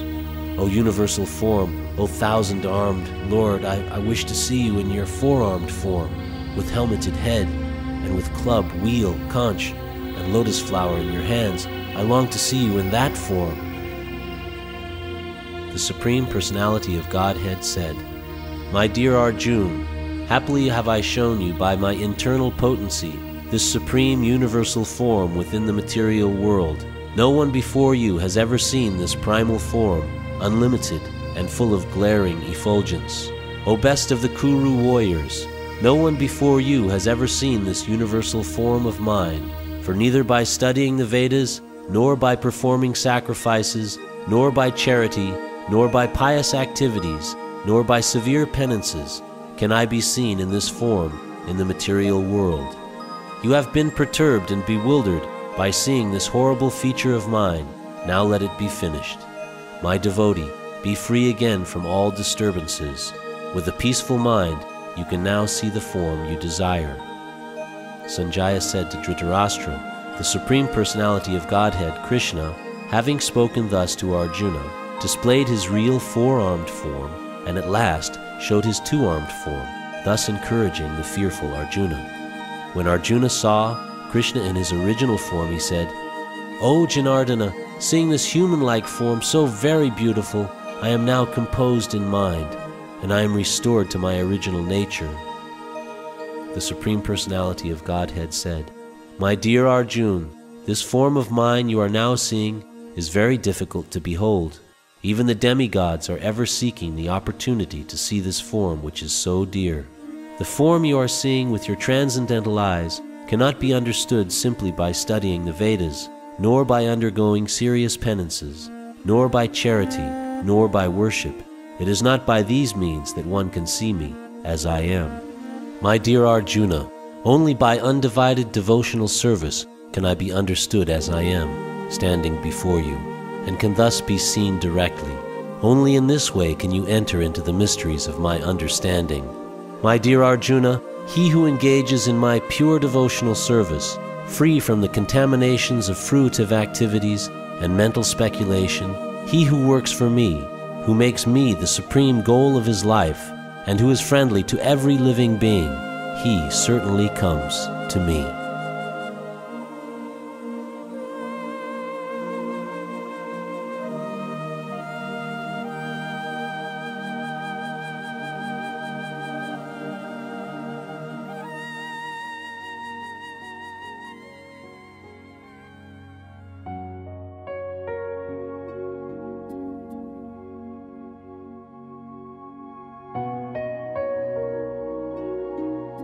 Chapter 12 Devotional Service Arjuna inquired, Which are considered to be more perfect, those who are always properly engaged in your devotional service, or those who worship the impersonal Brahman, the unmanifested? The Supreme Personality of Godhead said, Those who fix their minds on my personal form and are always engaged in worshiping me with great and transcendental faith are considered by me to be most perfect. But those who fully worship the unmanifested, that which lies beyond the perception of the senses, the all pervading, inconceivable, unchanging, fixed, and immovable, the impersonal conception of the absolute truth, by controlling the various senses and being equally disposed to everyone, such persons engaged in the welfare of all at last achieve me. For those whose minds are attached to the unmanifested, impersonal feature of the Supreme, advancement is very troublesome. To make progress in that discipline is always difficult for those who are embodied. But those who worship me, giving up all their activities unto me, and being devoted to me without deviation, engaged in devotional service, and always meditating upon me, having fixed their minds upon me, O son of Pritha, for them I am the swift deliverer from the ocean of birth and death. Just fix your mind upon me, the Supreme Personality of Godhead, and engage all your intelligence in me. Thus you will live in me, always, without a doubt. My dear Arjuna, O winner of wealth, if you cannot fix your mind upon me without deviation, then follow the regulative principles of Bhakti Yoga. In this way, develop a desire to attain me if you cannot practice the regulations of Bhakti Yoga, then just try to work for me, because by working for me, you will come to the perfect stage. If, however, you are unable to work in this consciousness of me, then try to act giving up all results of your work and try to be self situated. If you cannot take to this practice, then engage yourself in the cultivation of knowledge. Better than knowledge, however, is meditation and better than meditation is renunciation of the fruits of action, for by such renunciation one can attain peace of mind. One who is not envious, but is a kind friend to all living entities, who does not think himself a proprietor and is free from false ego, who is equal in both happiness and distress, who is tolerant, always satisfied, self controlled, and engaged in devotional service with determination his mind and intelligence fixed on me, such a devotee of mine is very dear to me. He for whom no one is put into difficulty, and who is not disturbed by anyone, who is equipoised in happiness and distress, fear and anxiety, is very dear to me. My devotee who is not dependent on the ordinary course of activities, who is pure, expert, without cares, free from all pain, and not striving for some result, is very dear to me. One who neither rejoices nor grieves, who neither laments nor desires, and who renounces both auspicious and inauspicious things, such a devotee is very dear to me. One who is equal to friends and enemies, who is equipoised in honor and dishonor, heat and cold, happiness and distress, fame and infamy, who is always free from contaminating association, always silent and satisfied with anything, who doesn't care for any residence, who is fixed in knowledge, and who is engaged in devotional service, such a person is very dear to me. Those who follow this imperishable path of devotional service and who completely engage themselves with faith, making me the supreme goal, are very, very dear to me.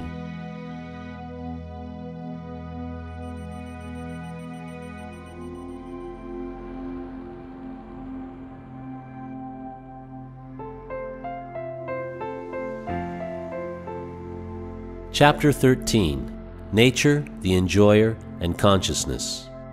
Arjuna said, O my dear Krishna, I wish to know about Prakriti, nature, Purusha, the enjoyer, and the field and the knower of the field, and of knowledge and the object of knowledge. The Supreme Personality of Godhead said, This body, O son of Kunti, is called the field, and one who knows this body is called the knower of the field.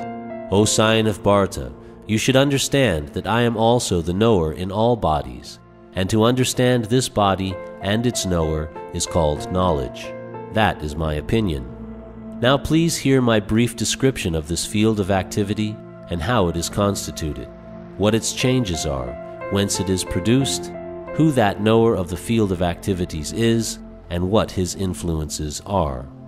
That knowledge of the field of activities and of the knower of activities is described by various sages in various Vedic writings. It is especially presented in Vedanta Sutra with all reasoning as to cause and effect. The five great elements false ego, intelligence, the unmanifested, the ten senses and the mind, the five sense objects, desire, hatred, happiness, distress, the aggregate, the life symptoms, and convictions. All these are considered in summary to be the field of activities and its interactions. Humility, pridelessness, non-violence, tolerance, simplicity, approaching a bona fide spiritual master, cleanliness, steadiness, self control, renunciation of the objects of sense gratification, absence of false ego, the perception of the evil of birth, death, old age, and disease, detachment, freedom from entanglement with children, wife, home, and the rest, even mindedness amid pleasant and unpleasant events, constant and unalloyed devotion to me, aspiring to live in a solitary place, detachment from the general mass of people, accepting the importance of self realization, and philosophical search for the absolute truth, all these I declare to be knowledge. And besides this, whatever there may be is ignorance. I shall now explain the knowable, knowing which you will taste the eternal. Brahman, the spirit, beginningless and subordinate to me, lies beyond the cause and effect of this material world. Everywhere are his hands and legs, his eyes, heads, and faces, and he has ears everywhere. And in this way, the Supersoul exists, pervading everything. The Supersoul is the original source of all senses, yet he is without senses. He is unattached, although he is the maintainer of all living beings. He transcends the modes of nature, and at the same time he is the master of all the modes of material nature. The supreme truth exists outside and inside of all living beings, the moving and the non moving. Because he is subtle, he is beyond the power of the material senses to see or to know. Although far, far away, he is also near to all. Although the Supersoul appears to be divided among beings, he is never divided he is situated as one. Although he is the maintainer of every living entity, it is to be understood that he devours and develops all. He is the source of light in all luminous objects. He is beyond the darkness of matter and is unmanifested.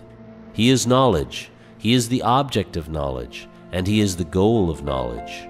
He is situated in everyone's heart. Thus, the field of activities, the body, knowledge, and the knowable have been summarily described by me. Only my devotees can understand this thoroughly and thus attain to my nature. Material nature and the living entities should be understood to be beginningless. Their transformations and the modes of matter are products of material nature. Nature is said to be the cause of all material causes and effects, whereas the living entity is the cause of the various sufferings and enjoyments in this world.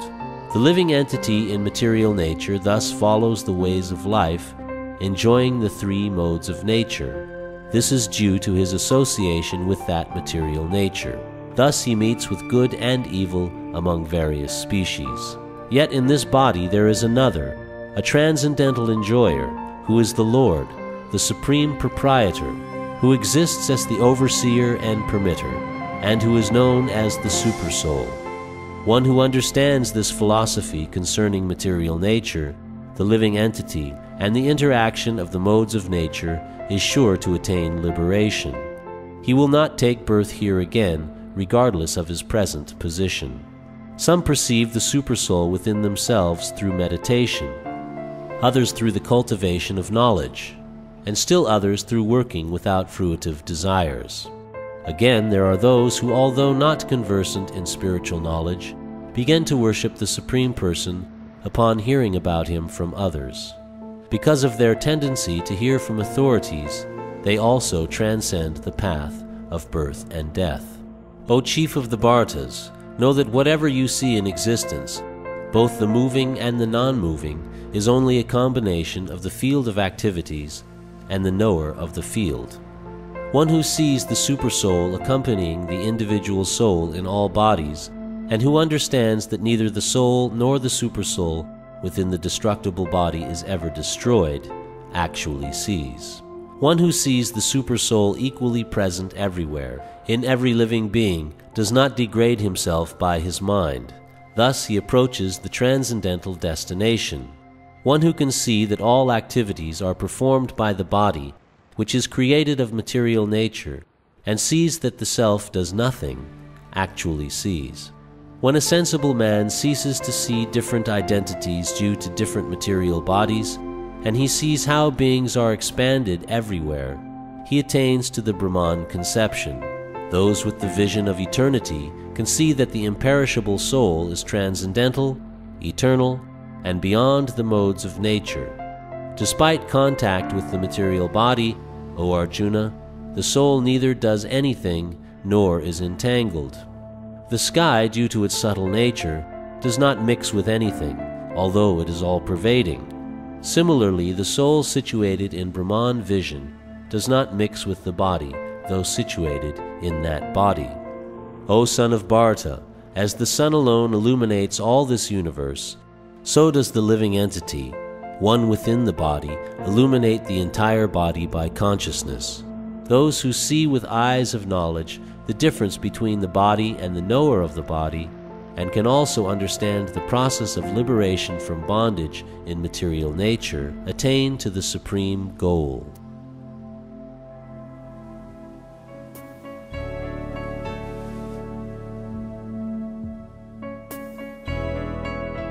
Chapter 14 The Three Modes of Material Nature.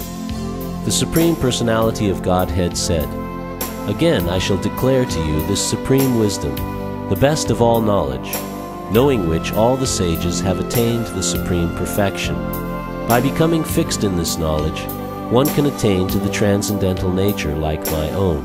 Thus established, one is not born at the time of creation or disturbed at the time of dissolution. The total material substance called Brahman is the source of birth, and it is that Brahman that I impregnate, making possible the births of all living beings, O son of Bharata. It should be understood that all species of life, O son of Kunti, are made possible by birth in this material nature, and that I am the seed-giving father. Material nature consists of three modes, goodness, passion, and ignorance.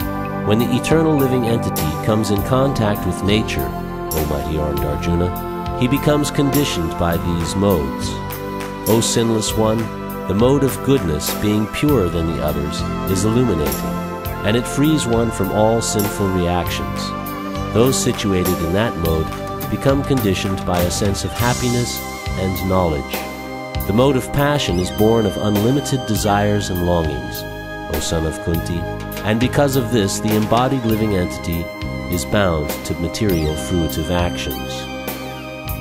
O son of Bharata, know that the mode of darkness, born of ignorance, is the delusion of all embodied living entities. The results of this mode are madness, indolence, and sleep, which bind the conditioned soul. O son of Bharata, the mode of goodness conditions one to happiness. Passion conditions one to fruitive action and ignorance covering one's knowledge binds one to madness. Sometimes the mode of goodness becomes prominent, defeating the modes of passion and ignorance, O son of Bharata. Sometimes the mode of passion defeats goodness and ignorance, and at other times ignorance defeats goodness and passion. In this way, there is always competition for supremacy. The manifestations of the mode of goodness can be experienced when all the gates of the body are illuminated by knowledge.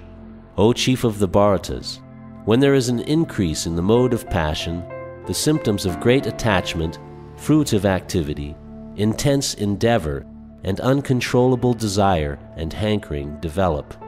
When there is an increase in the mode of ignorance, O son of Kuru, darkness, inertia, madness, and illusion are manifested. When one dies in the mode of goodness, he attains to the pure higher planets of the great sages. When one dies in the mode of passion, he takes birth among those engaged in fruitive activities. And when one dies in the mode of ignorance, he takes birth in the animal kingdom. The result of pious action is pure and is said to be in the mode of goodness, but action done in the mode of passion results in misery. and action performed in the mode of ignorance results in foolishness. From the mode of goodness, real knowledge develops. From the mode of passion, greed develops. And from the mode of ignorance develops foolishness, madness, and illusion. Those situated in the mode of goodness gradually go upward to the higher planets. Those in the mode of passion live on the earthly planets. And those in the abominable mode of ignorance go down to the hellish worlds. When one properly sees that in all activities no other performer is at work than these modes of nature, and he knows the Supreme Lord, who is transcendental to all these modes, he attains my spiritual nature. When the embodied being is able to transcend these three modes associated with the material body, he can become free from birth, death, old age, and their distresses and can enjoy nectar even in this life. Arjuna inquired, O my dear Lord, by which symptoms is one known who is transcendental to these three modes? What is his behavior, and how does he transcend the modes of nature? The Supreme Personality of Godhead said, O son of Pandu, he who does not hate illumination, attachment and delusion when they are present, or long for them when they disappear, who is unwavering and undisturbed through all these reactions of the material qualities, remaining neutral and transcendental, knowing that the modes alone are active, who is situated in the self and regards alike happiness and distress, who looks upon a lump of earth, a stone, and a piece of gold with an equal eye, who is equal toward the desirable and the undesirable, who is steady, situated equally well in praise and blame, honor and dishonor, who treats alike both friend and enemy, and who has renounced all material activities. Such a person is said to have transcended the modes of nature. One who engages in full devotional service, unfailing in all circumstances, at once transcends the modes of material nature and thus comes to the level of Brahman. And I am the basis of the impersonal Brahman, which is immortal imperishable, and eternal, and is the constitutional position of ultimate happiness. In life, they are struggling very hard with the six senses, which include the mind.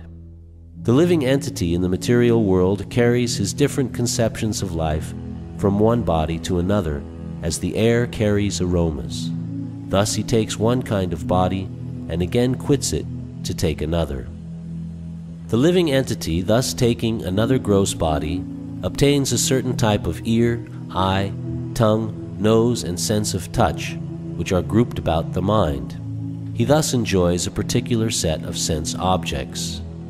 The foolish cannot understand how a living entity can quit his body, nor can they understand what sort of body he enjoys under the spell of the modes of nature. But one whose eyes are trained in knowledge can see all this. The endeavoring transcendentalists who are situated in self realization can see all this clearly, but those whose minds are not developed and who are not situated in self realization cannot see what is taking place, though they may try to. The splendor of the sun, which dissipates the darkness of the whole world, comes from me, and the splendor of the moon and the splendor of fire are also from me. I enter into each planet and by my energy they stay in orbit. I become the moon and thereby supply the juice of life to all vegetables. I am the fire of digestion in the bodies of all living entities, and I join with the fire of life, outgoing and incoming, to digest the four kinds of foodstuff. I am seated in everyone's heart, and from me comes remembrance, knowledge, and forgetfulness. By all the Vedas I am to be known. Indeed, I am the compiler of the Vedanta, and I am the knower of the Vedas.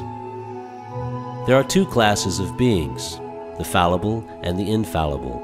In the material world, every living entity is fallible, and in the spiritual world, every living entity is called infallible. Besides these two, there is the greatest living personality, the Supreme Soul, the imperishable Lord Himself, who has entered the three worlds and is maintaining them. Because I am transcendental, beyond both the fallible and the infallible, and because I am the greatest, I am celebrated both in the world and in the Vedas as that Supreme Person. Whoever knows me as the Supreme Personality of Godhead, without doubting, is the knower of everything. He therefore engages himself in full devotional service to me, O son of Bharata. This is the most confidential part of the Vedic scriptures, O sinless one, and it is disclosed now by me. Whoever understands this will become wise, and his endeavors will know perfection.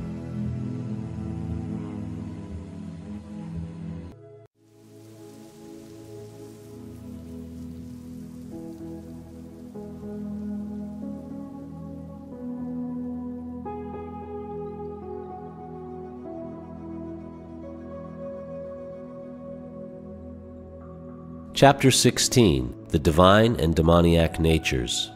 The Supreme Personality of Godhead said, Fearlessness, purification of one's existence, cultivation of spiritual knowledge, charity, self control, performance of sacrifice, study of the Vedas, austerity, simplicity, non violence, truthfulness, freedom from anger, renunciation, tranquility, aversion to fault finding, compassion for all living entities, freedom from covetousness, gentleness, modesty, steady determination, vigor, forgiveness, fortitude, cleanliness, and freedom from envy and the passion for honor.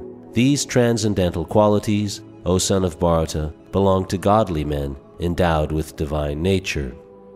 Pride, arrogance, conceit, anger, harshness, and ignorance, these qualities belong to those of demoniac nature, O son of Pritha. The transcendental qualities are conducive to liberation, whereas the demoniac qualities make for bondage. Do not worry, O son of Pandu, for you are born with the divine qualities. O son of Pritha, in this world there are two kinds of created beings. One is called the divine, and the other demoniac. I have already explained to you at length the divine qualities. Now hear from me of the demoniac. Those who are demoniac do not know what is to be done and what is not to be done. Neither cleanliness nor proper behavior nor truth is found in them. They say that this world is unreal, with no foundation, no God in control. They say it is produced of sex desire and has no cause other than lust. Following such conclusions, the demoniac who are lost to themselves and who have no intelligence engage in the unbeneficial, horrible works meant to destroy the world. Taking shelter of insatiable lust and absorbed in the conceit of pride and false prestige, the demoniac thus illusioned are always sworn to unclean work, attracted by the impermanent. They believe that to gratify the senses is the prime necessity of human civilization. Thus, until the end of life, their anxiety is immeasurable. Bound by a network of hundreds of thousands of desires and absorbed in lust and anger, they secure money by illegal means for sense gratification. The demoniac person thinks, So much wealth do I have today, and I will gain more according to my schemes. So much is mine now, and it will increase in the future, more and more. He is my enemy, and I have killed him, and my other enemies will also be killed. I am the Lord of everything. I am the enjoyer. I am perfect, powerful, and happy. I am the richest man, surrounded by aristocratic relatives. There is none so powerful and happy as I am. I shall perform sacrifices. I shall give some charity, and thus I shall rejoice. In this way, such persons are deluded by ignorance. Thus perplexed by various anxieties and bound by a network of illusions, they become too strongly attached to sense enjoyment and fall down into hell. Self complacent and always impudent, deluded by wealth and false prestige, they sometimes proudly perform sacrifices in name only, without following any rules or regulations. Bewildered by false ego, strength, pride, lust, and anger, the demons become envious of the Supreme Personality of Godhead, who is situated in their own bodies and in the bodies of others, and blaspheme against the real religion. Those who are envious and mischievous, who are the lowest among men, I perpetually cast into the ocean of material existence, into various demoniac species of life. Attaining repeated birth amongst the species of demoniac life, O son of Kunti, such persons can never approach me. Gradually they sink down to the most abominable type of existence. There are three gates leading to this hell lust, anger, and greed. Every sane man should give these up, for they lead to the degradation of the soul. The man who has escaped these three gates of hell, O son of Kunti, performs acts conducive to self realization, and thus gradually attains the supreme destination. He who discards scriptural injunctions and acts according to his own whims attains neither perfection, nor happiness, nor the supreme destination. One should therefore understand what is duty and what is not duty by the regulations of the Scriptures. Knowing such rules and regulations, one should act so that he may gradually be elevated.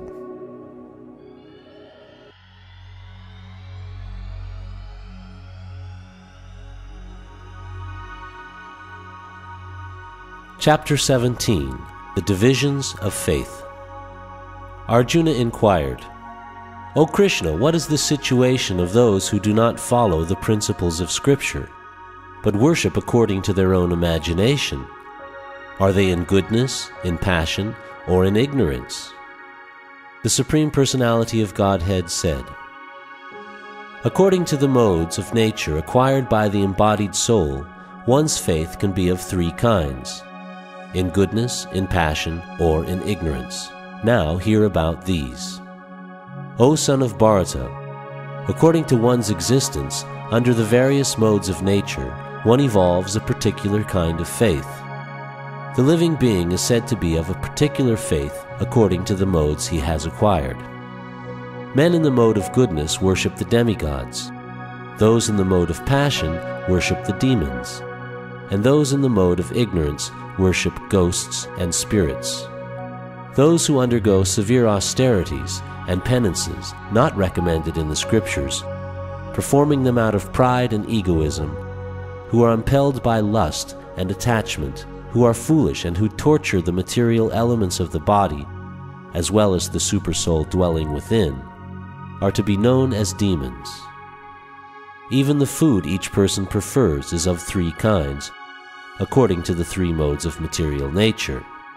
The same is true of sacrifices, austerities, and charity. Now hear of the distinctions between them. Foods dear to those in the mode of goodness increase the duration of life, purify one's existence, and give strength, health, happiness, and satisfaction. Such foods are juicy, fatty, wholesome, and pleasing to the heart. Foods that are too bitter too sour, salty, hot, pungent, dry, and burning are dear to those in the mode of passion. Such foods cause distress, misery, and disease. Food prepared more than three hours before being eaten, food that is tasteless, decomposed and putrid, and food consisting of remnants and untouchable things is dear to those in the mode of darkness. Of sacrifices, the sacrifice performed according to the directions of Scripture, as a matter of duty, by those who desire no reward, is of the nature of goodness. But the sacrifice performed for some material benefit, or for the sake of pride, O chief of the Bharatas, you should know to be in the mode of passion. Any sacrifice performed without regard for the directions of Scripture, without distribution of prasadam, spiritual food, without chanting of Vedic hymns and remunerations to the priests, and without faith is considered to be in the mode of ignorance. Austerity of the body consists in worship of the Supreme Lord, the Brahmanas, the spiritual master, and superiors like the father and mother, and in cleanliness, simplicity, celibacy, and non-violence. Austerity of speech consists in speaking words that are truthful, pleasing, beneficial, and not agitating to others, and also in regularly reciting Vedic literature. And satisfaction, simplicity, gravity, self control, and purification of one's existence are the austerities of the mind. This threefold austerity, performed with transcendental faith by men, not expecting material benefits, but engaged only for the sake of the Supreme, is called austerity in goodness. Penance performed out of pride and for the sake of gaining respect, honor, and worship is said to be in the mode of passion. It is neither stable nor permanent. Penance performed out of foolishness, with self torture, or to destroy or injure others, is said to be in the mode of ignorance. Charity given out of duty, without expectation of return, at the proper time and place, and to a worthy person, is considered to be in the mode of goodness. But charity performed with the expectation of some return, or with a desire for fruitive results, or in a grudging mood, is said to be charity in the mode of passion. And charity performed at an impure place, at an improper time, to unworthy persons, or without proper attention and respect, is said to be in the mode of ignorance. From the beginning of creation, the three words Om Tat Sat were used to indicate the supreme absolute truth. These three symbolic representations were used by Brahmanas while chanting the hymns of the Vedas and during sacrifices for the satisfaction of the Supreme. Therefore, transcendentalists undertaking performances of sacrifice, charity, and penance in accordance with scriptural regulations begin always with Om to attain the Supreme. Without desiring fruitive results, one should perform various kinds of sacrifice, penance, and charity with the word tat. The purpose of such transcendental activities is to get free from material entanglement. The absolute truth is the objective of devotional service, and it is indicated by the word sat. The performer of such sacrifice is also called sat, as are all works of sacrifice, penance, and charity, which, true to the absolute nature, are performed to please the Supreme Person, O son of Pritha. Anything done as sacrifice, charity, or penance without faith in the Supreme, O son of Pritha, is impermanent. It is called asat, and it is useless both in this life and the next.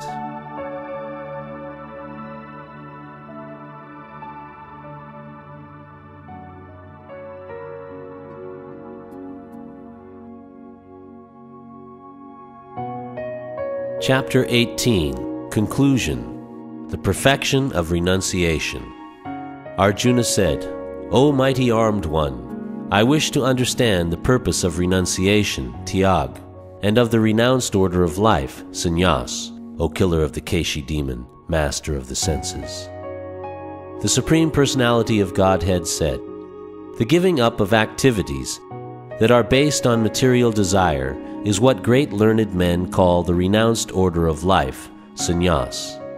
And giving up the results of all activities is what the wise call renunciation, tyag. Some learned men declare that all kinds of fruitive activities should be given up as faulty. Yet other sages maintain that acts of sacrifice, charity, and penance should never be abandoned. O best of the Bharatas, now hear my judgment about renunciation. O tiger among men, renunciation is declared in the scriptures to be of three kinds acts of sacrifice, charity, and penance are not to be given up, they must be performed. Indeed, sacrifice, charity, and penance purify even the great souls. All these activities should be performed without attachment or any expectation of result. They should be performed as a matter of duty, O son of Pritha.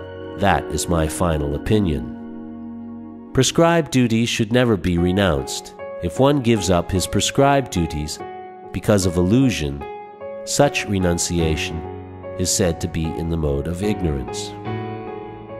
Anyone who gives up prescribed duties as troublesome or out of fear of bodily discomfort is said to have renounced in the mode of passion. Such action never leads to the elevation of renunciation. O Arjuna, when one performs his prescribed duty only because it ought to be done, and renounces all material association and all attachment to the fruit, his renunciation is said to be in the mode of goodness. The intelligent renouncer, situated in the mode of goodness, neither hateful of inauspicious work nor attached to auspicious work, has no doubts about work. It is indeed impossible for an embodied being to give up all activities, but he who renounces the fruits of action is called one who has truly renounced. For one who has not renounced, the threefold fruits of action, desirable, undesirable, and mixed, accrue after death.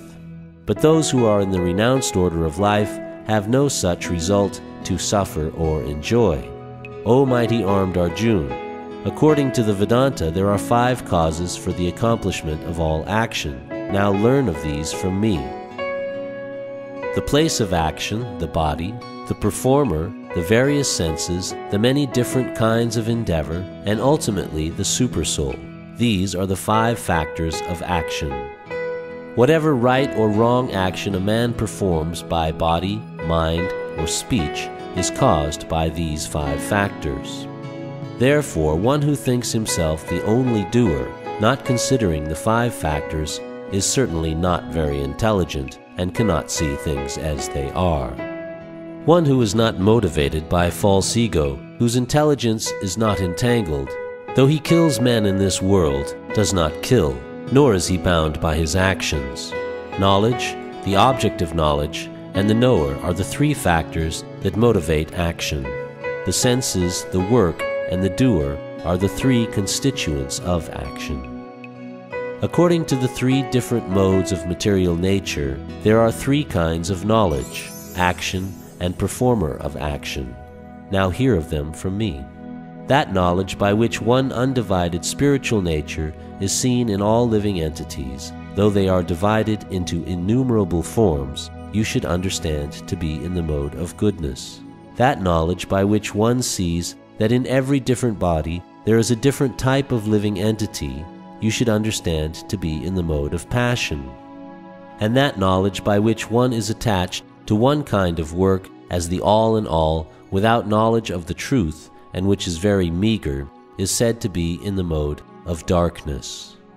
That action which is regulated and which is performed without attachment, without love or hatred, and without desire for fruit of results is said to be in the mode of goodness.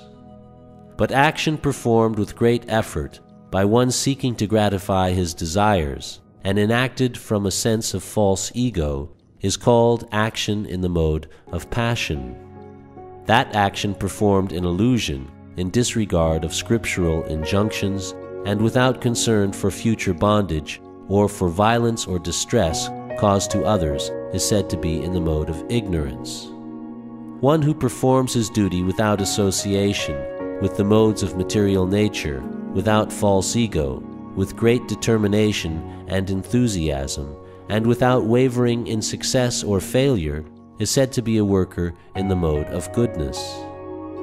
The worker who is attached to work and the fruits of work, desiring to enjoy those fruits, and who is greedy, always envious, impure, and moved by joy and sorrow, is said to be in the mode of passion. The worker who is always engaged in work against the injunctions of the Scripture, who is materialistic, obstinate, cheating, and expert in insulting others, and who is lazy, always morose, and procrastinating, is said to be a worker in the mode of ignorance.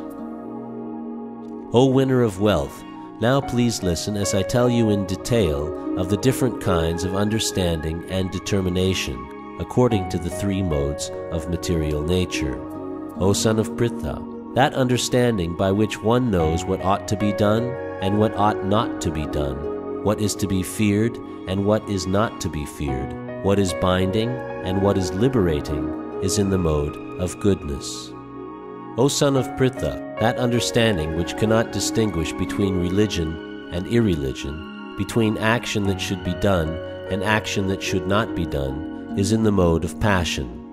That understanding which considers irreligion to be religion and religion to be irreligion, under the spell of illusion and darkness, and strives always in the wrong direction, O Partha, is in the mode of ignorance. O son of Pritha, that determination which is unbreakable, which is sustained with steadfastness by yoga practice, and which thus controls the activities of the mind, life, and senses, is determination in the mode of goodness. But that determination by which one holds fast to fruitive results in religion, economic development, and sense gratification is of the nature of passion, O Arjuna. And that determination, which cannot go beyond dreaming, fearfulness, lamentation, moroseness, and illusion, such unintelligent determination, O son of Pritha, is in the mode of darkness. O best of the Bharatas, now please hear from me about the three kinds of happiness by which the conditioned soul enjoys, and by which he sometimes comes to the end of all distress. That which in the beginning may be just like poison, but at the end is just like nectar, and which awakens one to self realization, is said to be happiness in the mode of goodness. That happiness which is derived from contact of the senses with their objects, and which appear like nectar at first, but poison at the end, is said to be of the nature of passion and that happiness which is blind to self realization, which is delusion from beginning to end, and which arises from sleep, laziness, and illusion, is said to be of the nature of ignorance. There is no being existing, either here or among the demigods in the higher planetary systems, which is freed from these modes born of material nature. Brahmanas, Kshatriyas, Vaishyas, and Shudras are distinguished by the qualities born of their own natures in accordance with the material modes, O chastiser of the enemy. Peacefulness, self control, austerity, purity, tolerance, honesty, knowledge, wisdom, and religiousness these are the natural qualities by which the Brahmanas work. Heroism, power, determination, resourcefulness, courage in battle, generosity, and leadership are the natural qualities of work for the Kshatriyas. Farming, cow protection, and business are the natural work for the Vaishyas, and for the Shudras, there is labor and service to others. By following his qualities of work, every man can become perfect. Now please hear from me how this can be done. By worship of the Lord, who is the source of all beings, and who is all pervading, a man can attain perfection through performing his own work. It is better to engage in one's own occupation, even though one may perform it imperfectly, than to accept another's occupation and perform it perfectly.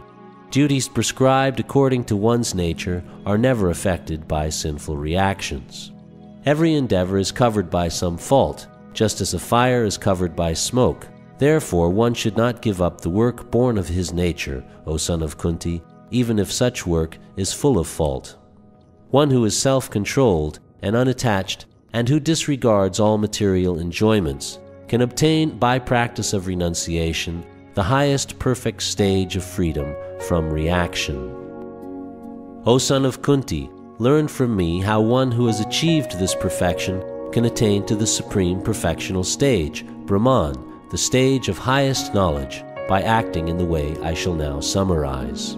Being purified by his intelligence and controlling the mind with determination, giving up the objects of sense gratification, being freed from attachment and hatred, one who lives in a secluded place, who eats little, who controls his body, mind, and power of speech, who is always in trance, and who is detached, free from false ego, false strength, false pride, lust, anger, and acceptance of material things, free from false proprietorship, and peaceful, such a person is certainly elevated to the position of self realization. One who is thus transcendently situated at once realizes the Supreme Brahman and becomes fully joyful. He never laments or desires to have anything. He is equally disposed toward every living entity. In that state, he attains pure devotional service unto me. One can understand me as I am, as the Supreme Personality of Godhead, only by devotional service. And when one is in full consciousness of me by such devotion, he can enter into the kingdom of God. Though engaged in all kinds of activities, My pure devotee, under my protection, reaches the eternal imperishable abode by my grace. In all activities, just depend upon me, and work always under my protection. In such devotional service, be fully conscious of me. If you become conscious of me, you will pass over all the obstacles of conditioned life by my grace. If, however, you do not work in such consciousness, but act through false ego, not hearing me, you will be lost. If you do not act according to my direction and do not fight, then you will be falsely directed. By your nature, you will have to be engaged in warfare. Under illusion, you are now declining to act according to my direction, but compelled by the work born of your own nature, you will act all the same, O son of Kunti. The Supreme Lord is situated in everyone's heart, O Arjun, and is directing the wandering of all living entities who are seated as on a machine made of the material energy. O sign of Bharata, surrender unto him utterly. By his grace you will attain transcendental peace and the supreme eternal abode. Thus I have explained to you knowledge still more confidential. Deliberate on this fully, and then do what you wish to do. Because you are my very dear friend, I am speaking to you my supreme instruction, the most confidential knowledge of all. Hear this from me, for it is for your benefit. Always think of me, become my devotee, worship me, and offer your homage unto me. Thus you will come to me without fail. I promise you this because you are my very dear friend. Abandon all varieties of religion, and just surrender unto me. I shall deliver you from all sinful reactions. Do not fear. This confidential knowledge may never be explained to those who are not austere, or devoted, or engaged in devotional service, nor to one who is envious of me. For one who explains this supreme secret to the devotees, pure devotional service is guaranteed, and at the end he will come back to me. There is no servant in this world more dear to me than he, nor will there ever be one more dear. And I declare that he who studies this sacred conversation of ours worships me by his intelligence. And one who listens with faith and without envy becomes free from sinful reactions and attains to the auspicious planets where the pious dwell. O son of Pritha, O conqueror of wealth, have you heard this with an attentive mind? And are your ignorance and illusions now dispelled? Arjuna said, My dear Krishna, O infallible one, my illusion is now gone. I have regained my memory by your mercy. I am now firm and free from doubt, and am prepared to act according to your instructions. Sanjaya said, Thus I have heard the conversation of two great souls, Krishna and Arjuna, and so wonderful is that message that my hair is standing on end. By the mercy of Vyas, I have heard these most confidential talks directly from the master of all mysticism, Krishna, who is speaking personally to Arjuna. O king, as I repeatedly recall this wondrous and holy dialogue between Krishna and Arjuna, I take pleasure, being thrilled at every moment. O king, as I remember the wonderful form of Lord Krishna, I am struck with wonder more and more, and I rejoice again and again.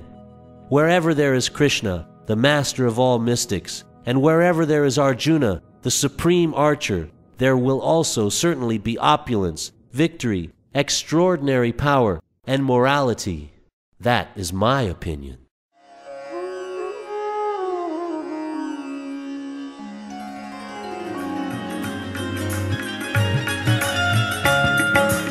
Hare Krishna Hare Krishna Krishna Krishna Hare Hare. Hare Krishna Hare Krishna Krishna Krishna Hare Hare. O Hare Ram Hare Ram Ram Ram Hare Hare. Hare Ram Hare Ram Ram Ram Hare O Hare Krishna Hare Krishna Krishna Krishna Hare. Hare